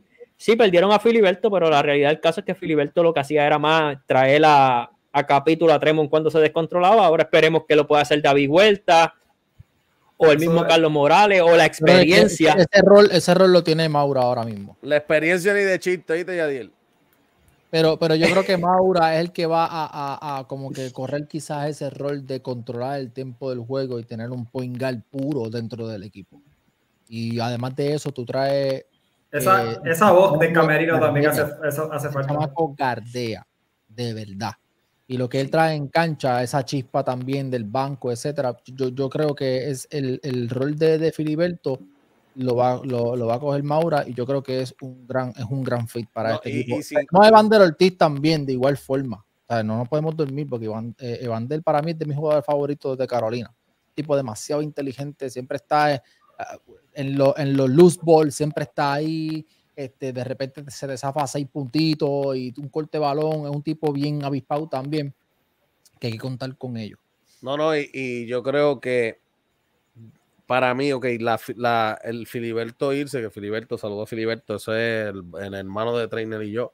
y también Bimbo, yo creo que no hay nada mejor que tener un veterano como David Huerta en tu equipo. Mm. Yo creo que un, mm. tipo como David Huerta, campeón múltiples veces, él sabe la presión, o sea, estamos hablando de que ya este equipo ganó, ya este equipo sabe ganar, pero si tú le añades un tipo que ha ganado múltiples veces y sabe ganar de verdad, pues yo creo que en verdad tenerlo es un lujo. Y, David Huerta es un tipo que te puede jugar de 15 a 20 minutos, puede, si está caliente, te puede meter 10, 15 puntos, vuelve y se sienta, o sea, tenerlo es un lujo. Maura también se probó en unos momentos grandes. Vimos como también con Aguadas eh, surgió. O sea, es, un equipo loaded, es un equipo que hay que contar que ellos. Leí uno en los comentarios que, en, los próximos 20 años Carolina no vuelva a ganar, que eso fue un chivo. Yo, pues lo único que puedo decirte, pues los chivos valen. Si fue un chivo, los chivos valen. Eh, yo creo que el año pasado sigo diciéndolo. Y, a, a diferencia de los por poco. Sí, exacto. ¡Ah! Los, por, poco, pues ya tú sabes, pero los chivos sí valen. Yo creo, yo creo que a la hora de la verdad puedo estar de acuerdo con, la persona de que el año pasado no era su año, pero ellos lo aprovecharon al máximo y lo ganaron. So, en los próximos 20 años, decir que Carolina no va a ganar de estar Tremont World y George Condit, no hay que es, guayarse la espalda bien con ganas de guayarte de verdad, porque realmente hay que contar con Carolina. Ya creo que este año mismo hay que contar con ellos. El año pasado te la compraba. Yo creo que el año pasado ellos tuvieron un momento en el, mejor momento de su, de, su, de su tiempo. Yo creo que si el momento lo hubieran tenido al principio, se les iba a acabar y le iban a hacer, perdonen que lo digan, yo los quiero y todas todos los fanáticos saben que yo los quiero un montón pero les, le, le, iba a pasar lo mismo que les pasó a San Germán. Tuvieron un momentum desde el principio, el momentum seguía, seguía, seguía, hasta que enfrentaron con la realidad que fue Bayamón. Hablamos, no te quiero hablar más. Pero Carolina aprovechó el momento, vio sangre en el agua, lo aprovechó al máximo otra vez y llegaron campeones. Si para ti fue un chivo, los chivos valen, hoy ese chivo ellos se llaman campeones. No, es que eh, para mí el que piense esto, el que piense de esa manera, de que Carolina no vuelve, en verdad, que se, se dedique entonces a ver hockey y olvídate del BCN, porque en realidad el, el BCN y el baloncesto no es para ti. Ya yo sé que ya estamos yéndonos, llevamos una hora y media. yo quiero, quiero poner algo rápido y me gustaría este, saber que ustedes, un equipo underrated, ¿qué equipo así de top, de top nativo ustedes entienden que es underrated. O sea, obviamente, pues tenemos nuestro top 5, pero podemos sacar a una parte que tú digas, tú sabes qué, no lo mencionamos mucho, pero puede pasar por debajo del radar. Eh, antes, de contestar la pregunta, y tremenda pregunta, yo pienso que Carolina tiene un factor interesante y, estamos de acuerdo, yo pienso que Carolina durísimo. Eh, Carolina va a ser interesante el mindset. Cuando tú eres el, el que estás cazando, tú vas con, tú vas con las gringolas, tú vas porque tú tienes un foco, tú tienes un target y ese es tu target. Pero cuando tú eres el target, cuando a ti te están cazando, tú tienes que, tú tienes que tener los pantalones de, de poder aguantar esa, esa presión y poder soportar el mejor juego de todas las noches de, de todos los equipos que quieren lo que tú tienes. Y ese, ese va a ser el mindset que va a ser interesante y esa yo creo que es la, la, la fortaleza de David Huerta, porque David Huerta ha estado ahí David Huerta es, sabe lo que es ser el cazador y cazar exitosamente, pero al mismo tiempo treparse en la cima y esperar que vengan por él y tumbarlos unos por uno. Y yo creo que esa, y sí, David Huerta está bajando y David Huerta está teniendo los últimos cartuchos en su carrera, pero el mindset, el poder tener esa voz que ha estado ahí y que cuando él vea que el equipo a lo mejor se está descarrilando un poco, él tener como que la visibilidad de decir, mira, este es el camino, yo creo que esa es la fortaleza que ese equipo tiene. Estoy loco por verlo jugar, honestamente. Carolina me intriga mucho este año porque ellos se adelantaron. Ellos se adelantaron que el año pasado. Y se hace un equipo que no, no pasa la postemporada. O sea, si Mace no llega, Dios solo sabe que le hubiese pasado a ese equipo. Tuvieron a dos, dos, dos juegos o un juego de no entrar, de estar en el play-in. se treparon, y, se y se treparon en la ola y la ola los llevó hasta la orilla. Hasta, el final. Y, y pues, pero Oye, buena pregunta de trainer, discúlpame, Yadiel, este, no sé si quieras como que... No, no, y también no, quiero, este enviarle un saludo, quiero enviarle un saludo ahí a Michael Rojas que dice, trainer, dedícate mejor a vender picho porque como comentarista no, tranquilo, si quieres te, te, voy a enviar el link para que tú entres y voy a abrir el pincho y que tú sabes que me pasa el barbecue. Pues yo creo que haciendo un rol, yo creo que te va a quedar mejor.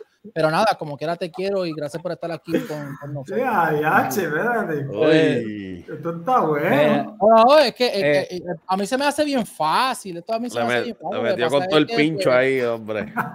Sí, hombre, hablo de pincho ahí, pues, está bien. Ahí es Rosy, defiende, defiende mal trainer ahí, Rosy. Saluda a Rosy. Mira, este. Eh, estén de acuerdo o no, pero recuerden darle subscribe, olvídate de eso, darle subscribe. Pues, pero recuerden darle subscribe. Mira, eh, Trainer, por, contestándote la, la, antes de contestarte la pregunta, el argumento que estaban hablando de Carolina, realmente por eso es que yo lo traigo, porque Carolina logró hacer eh, en poco tiempo en lo que se construye para tú poder repetir, para poder mantenerte eh, como un equipo relevante. Lo hizo Bayamón, lo hizo Arecibo. En su momento, San Germán lo está tratando de hacer para mantenerse relevante por los años. Eso que Carolina hizo, pues por eso es que es de ser pie forzado para este tema. Obviamente también que Manatí está anunciando que, llegó Tyler Davis. De ahí es que viene el pie forzado, porque realmente son, son equipos con un gran, un gran núcleo. Y pues de ahí es que viene el tema realmente, que, que es que son, es un equipo que realmente posición por posición están demasiado loaded. Hay que verlo en cancha. Eh, Charlie dice que está loco de verlo. Yo estoy loco de verlo, pero me va a dar eh, lástima el no, no tenerlos completos. Se van a tardar en estar completos y probablemente eh, Carolina no va a arrancar de la manera que debería arrancar un campeón. Y esa es la cuestión. Cuando a ti te están cazando y tú no tienes los, tipos ahí, va a ser complicado. Va, a ser bien cuesta arriba. Va a ser bien cuesta arriba para Carlos González va a ser, va a ser complicado, o sea, y no, I'm not hating, I'm not hating. O sea, es, e, es, el hecho de que me intriga, porque yo respeto a ese equipo, yo respeto a ese equipo un montón. Pero, pero cuando tú no tienes a tus tipos que te, cuando tú no tienes a los bouncers atrás tuyo. Lo pues único, lo único bueno, lo único bueno que tiene Carolina, y, y en verdad lo, lo, voy a decir, saludos a Mayra, que mandó un saludo. Mayra, un beso, saludos y bendiciones. Mira, lo, lo que tiene bueno eh, Carolina es que si al final del día te llega Tremont, te llega Condit y te llega My Scott, no importa con quién tú cruces en los playoffs, tú puedes ser favorito de esa serie.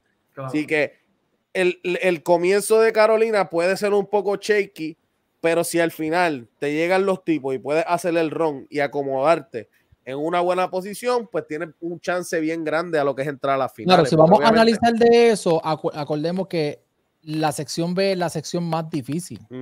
Sí. ¿Qué pasa? Que tú tienes que tratar de, acomodarte para llegar al cuarto lugar, pero tú tienes a Cagua con tres refuerzos y, gente que va a empezar desde el día uno, que van a competir y ellos saben que el año pasado la razón por la que ellos no entraron es porque tuvieron un arranque lento.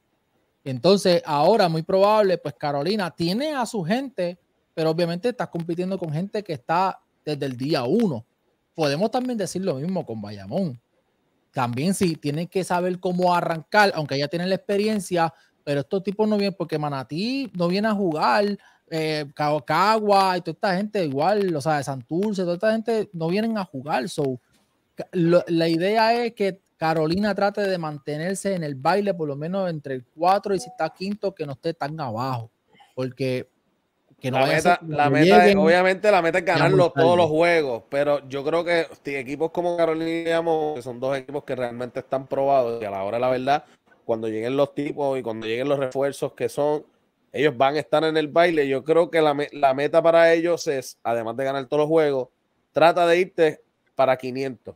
Si tú te vas en 500, tú te mantienes en esa posición 3, 4, 5 que en algún momento coges una racha de 3, 4 juegos de victoria, vuelves y subes. Yo creo que esa es la mentalidad. Obviamente, claro, como tú como dirigente y tú como gerente general, tú quieres ganar todos los juegos, pero hay que también ser sincero. Cuando no tienes los, el equipo completo, entonces es bien difícil. Cuando te enfrentas a un equipo que está completo, pues yo creo que va a ser un poquito cuesta arriba. Que pueden ganarlo, yo creo que Carolina tiene, tiene, el, tiene el corazón para ganarlo. Yo creo que David Vuelta puede darte esos minutos que obviamente Tremor no está Yo creo que el equipo de Bayamón también va a estar bastante sólido. Si Wengen Gabriel llega desde el día uno, es un jugador que va a ser de impacto desde el día uno, tan pronto esa bola suerte del aire.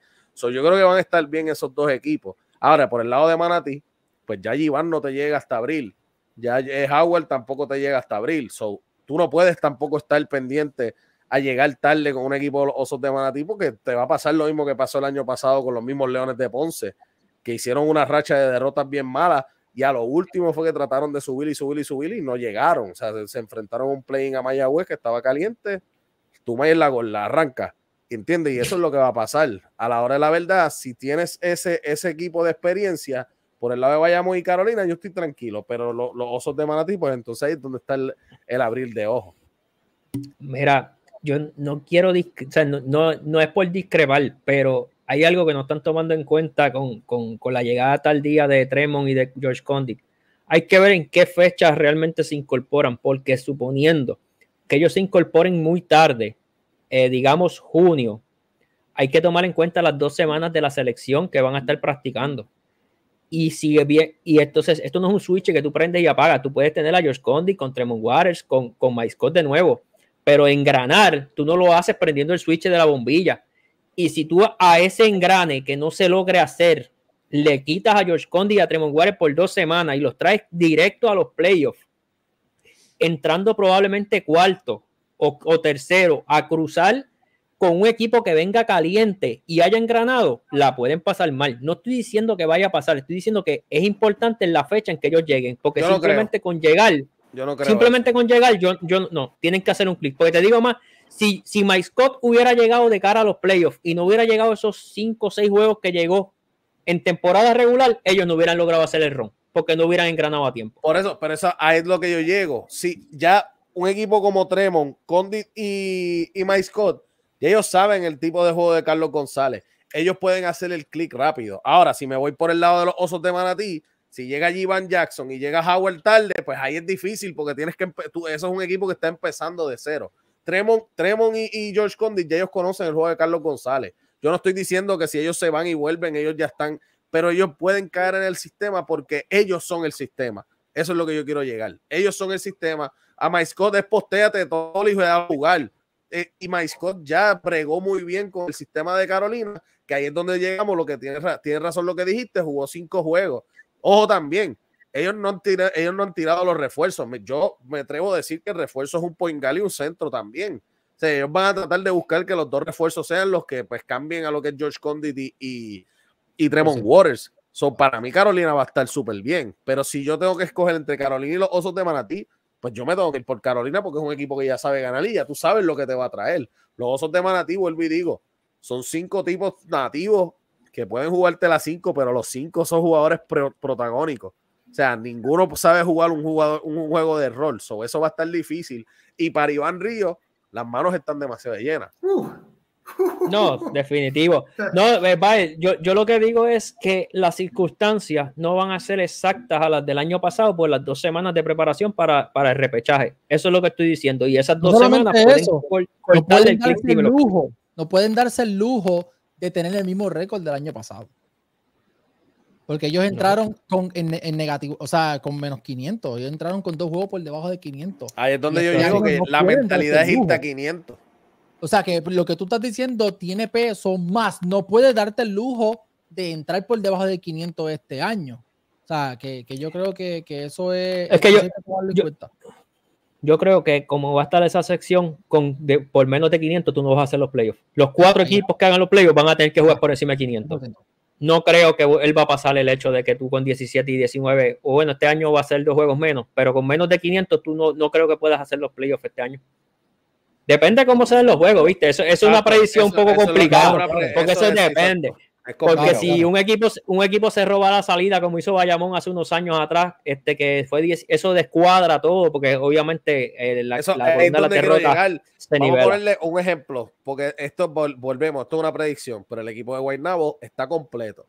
Vamos a ponerle que Guaynabo entre en una racha de que no han perdido por 12 juegos, 13 juegos, están 3 y 0 ya eso desbalancea todo, porque todos los de la sección B tienen récord negativo, ¿entiendes? Eso es, depende, depende cuál sea el equipo. O nosotros estamos eh, en la predicción de que pues toda la sección B se va a matar y todo el mundo va a estar volando en canto.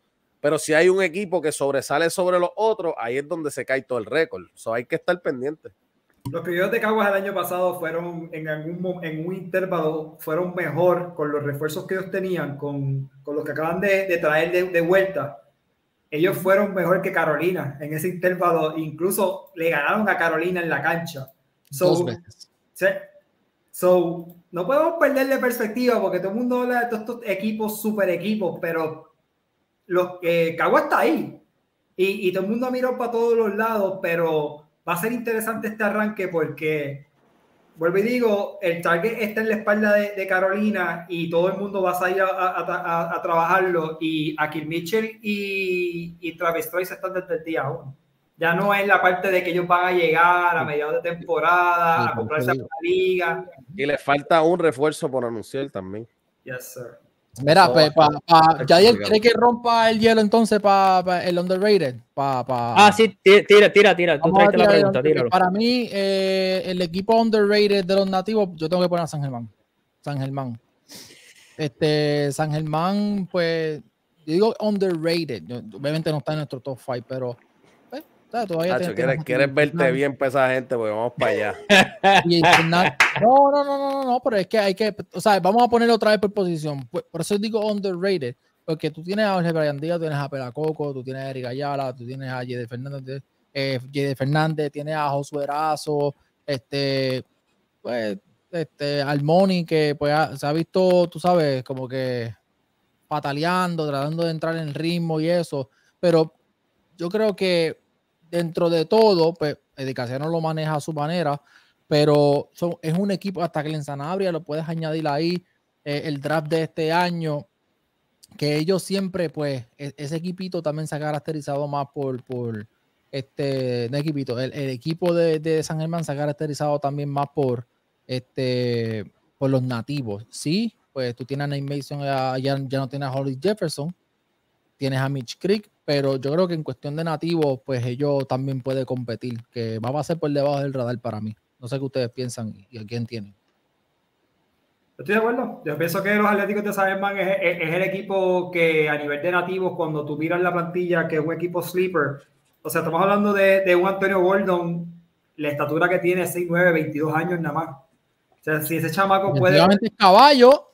Si, si puede coger un poquito de librita, yo estaba hablando con Yadier los otros días en el, en el, en el en el juego de pretemporada y decía, wow, si él, si él pudiera coger un poco de libra, porque lo estaban tongoneando un poco en el, en el juego, y yo decía, wow, si él, si él pudiera coger un poco de libra, va a ser un verdadero problema porque el chavaco tiene el básquetbol IQ, sabe jugar, y es la cuestión de, obviamente, él, él todavía es un joven, no voy a decir un niño, es, joven, tiene 22 años, uh -huh. pero está jugando contra hombres, y él, pues, esa, esa malicia física, pues él todavía no la tiene, pero cuando él llegue a ese punto, y, y, con Eddie, que, que, tú sabes que Eddie lo va a pulir. Sea, no. Eddie, Eddie va, va, a pulir ese diamante, de verdad que me, inter... me Ellos tienen dos jugadores que a mí me intrigan mucho. Eh, eh, Antonio Gordon es uno de ellos y Jojo Walker es otro que, eh, que, que, quiero verlo jugar. Incluso me, lo, lo, vi en cancha el día de la pretemporada, no jugó y era uno de los jugadores que quería ver de cerca. Pero tiene un equipo, entonces tú le añades un Eric Ayala, que ese jugador, Dios mío, este otro jugador que yo espero que se desarrolle por el bien de la Selección Nacional de Puerto Rico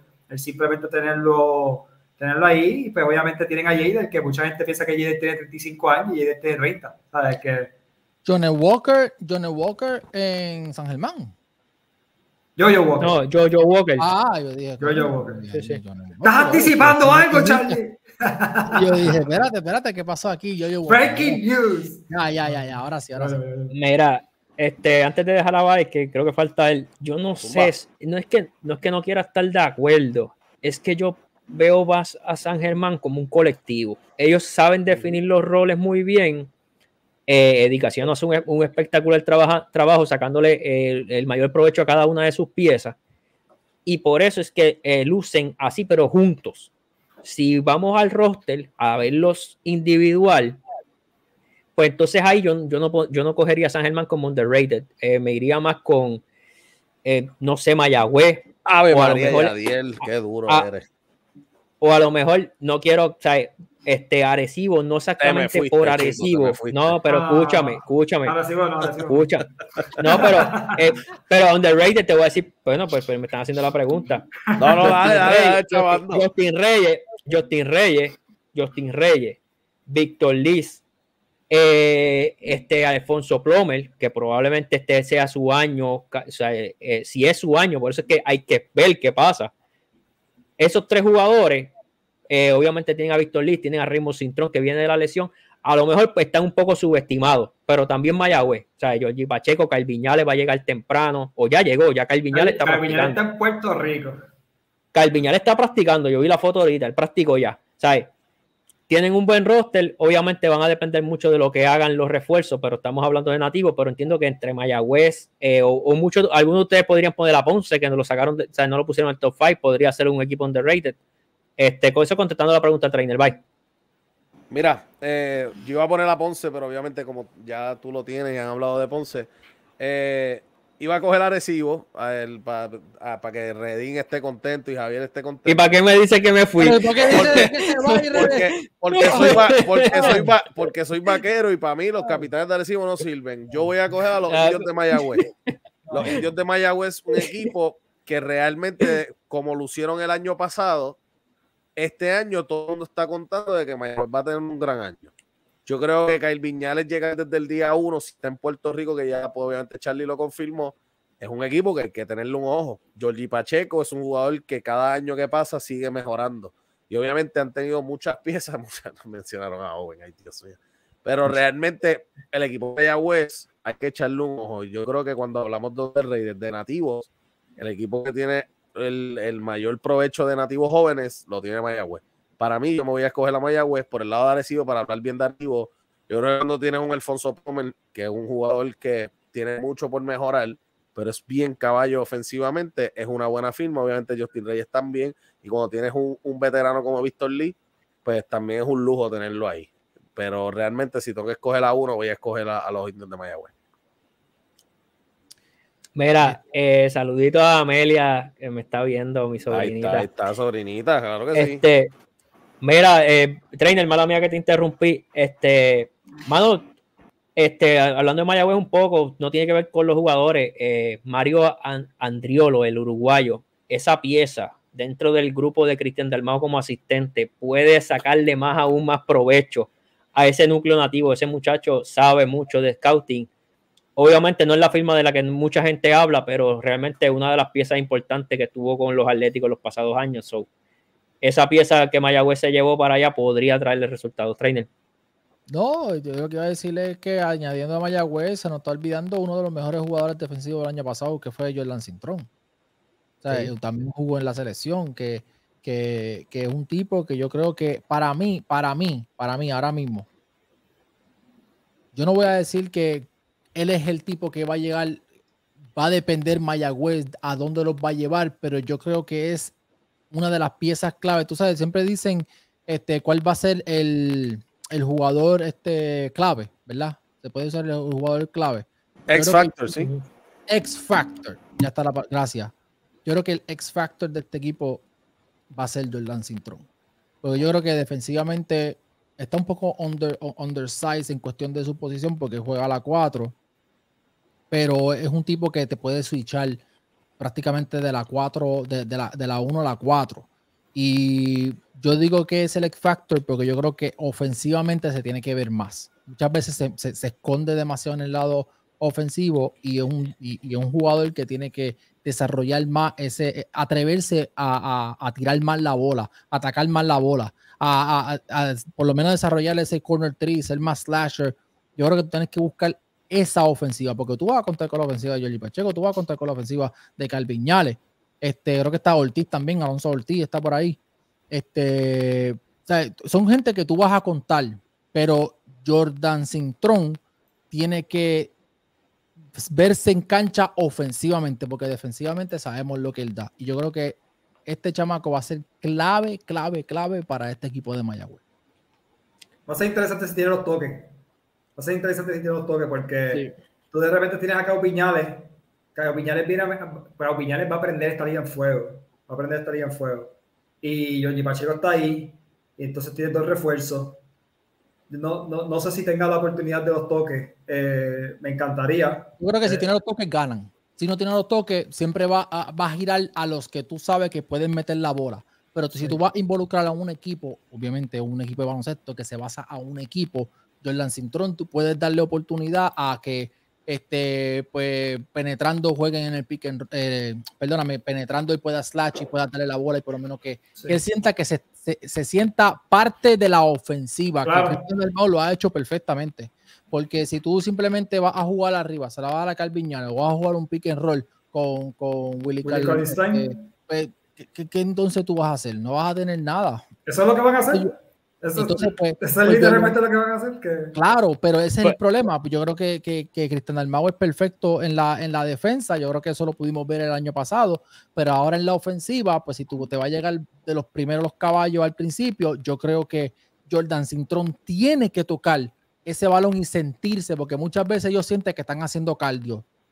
Y eso eh, en el equipo puede impactar Pero- lo que es la atmósfera teniendo un jugador que se mete sus 10 puntos y hace sus 8 rebotes, hace sus 2 steals y sus 2 blocks, es un jugador factor inmediato en este equipo. Jordan Cintrón es un jugador de. eh, mala Dale, este, va, no, dale, dale, dale, dale, dale, dale. Eh, Jo- Jordan es jugador de racha. Cuando él mete una, mete dos, mete tres. Lo que pasa es que lo tienen que seguir involucrando, como tú dices. Falta ver si lo van a involucrar o en la ofensiva, pues como tú dices, se va a concentrar solamente en, en los refuerzos. Eh, ver Pero cómo los lo refuerzos no son dominantes. O sea, los- no, no son tipos dominantes que van a pedir la bola a un Mike Scott, por ejemplo. Pero Son refuerzos Pero- pero- que vienen pero- a- pero- a, a asumir un rol, no van a echarse el equipo encima. Yo creo que eso es importante. Que cometieron el año pasado el error con Tyreek Evans. Sí, pero ahí está Kyle, Kyle Viñales que va a demandar los toques que demandaba Ky- eh, Tyreek Evans. Ya lo Bye. dijiste todo. Ya lo dijiste todo ahí. Yo creo que a la hora de buscar ofensivamente a Jordan Cintrón, primero, él no es un, un creador de tiros. Y eso es un problema para él. Obviamente, defensivamente es un monstruo. Eso hay que darle todas las flores del mundo. Pero cuando vemos el equipo, ahora mismo la primera opción va a ser Kai Viñales. La segunda tiene que ser Georgie Pacheco. Ya la tercera tiene que ser uno de los dos refuerzos. Pues entonces ya estamos hablando de que un cuarto, quinto, una cuarta o quinta opción. Pues entonces ahí es donde llega Jordan a ver cuánto que tú le puedes dar a ese hombre, porque ya estamos hablando de si es cuarto o quinto, estamos hablando que los primeros tres tienen que tirar sobre 10 a 15 tiros, 10, 12, 10, 12 tiros.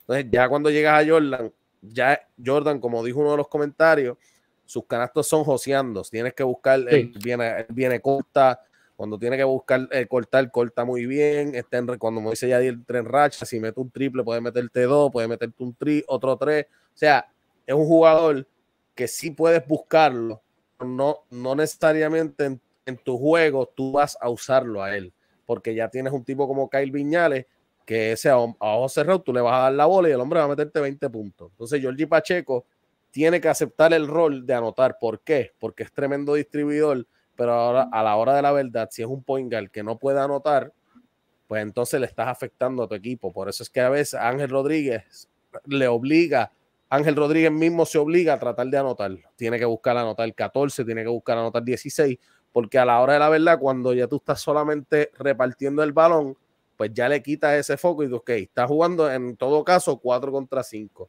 Y ese es el punto de que ahora este año, para mí, Georgie Pacheco va a ser un, un año espectacular, porque realmente ese va a ser el enfoque. Yo creo que en este año él va a ser su- la segunda opción de los indios de Mayagüez, y ahí es donde Wow. llega el tercero, los refuerzos grandes de ellos, que Willy Colistein, gracias a Dios, un tipo que te viene a defender y no necesita la bola. No es un Hassan Whiteside que te va a pedir la bola, no es un DeMarcus Cousins. Entonces tienes el segundo, que es un anotador, pero no, es- no es necesariamente el anotador principal del equipo, es Kyle Viñales. Yo creo que cuando Kyle Viñales llega a principio de año, es tremendo para ellos, porque así puedes acoplar la dupla de lo que es Georgie Pacheco y Kyle Viñales.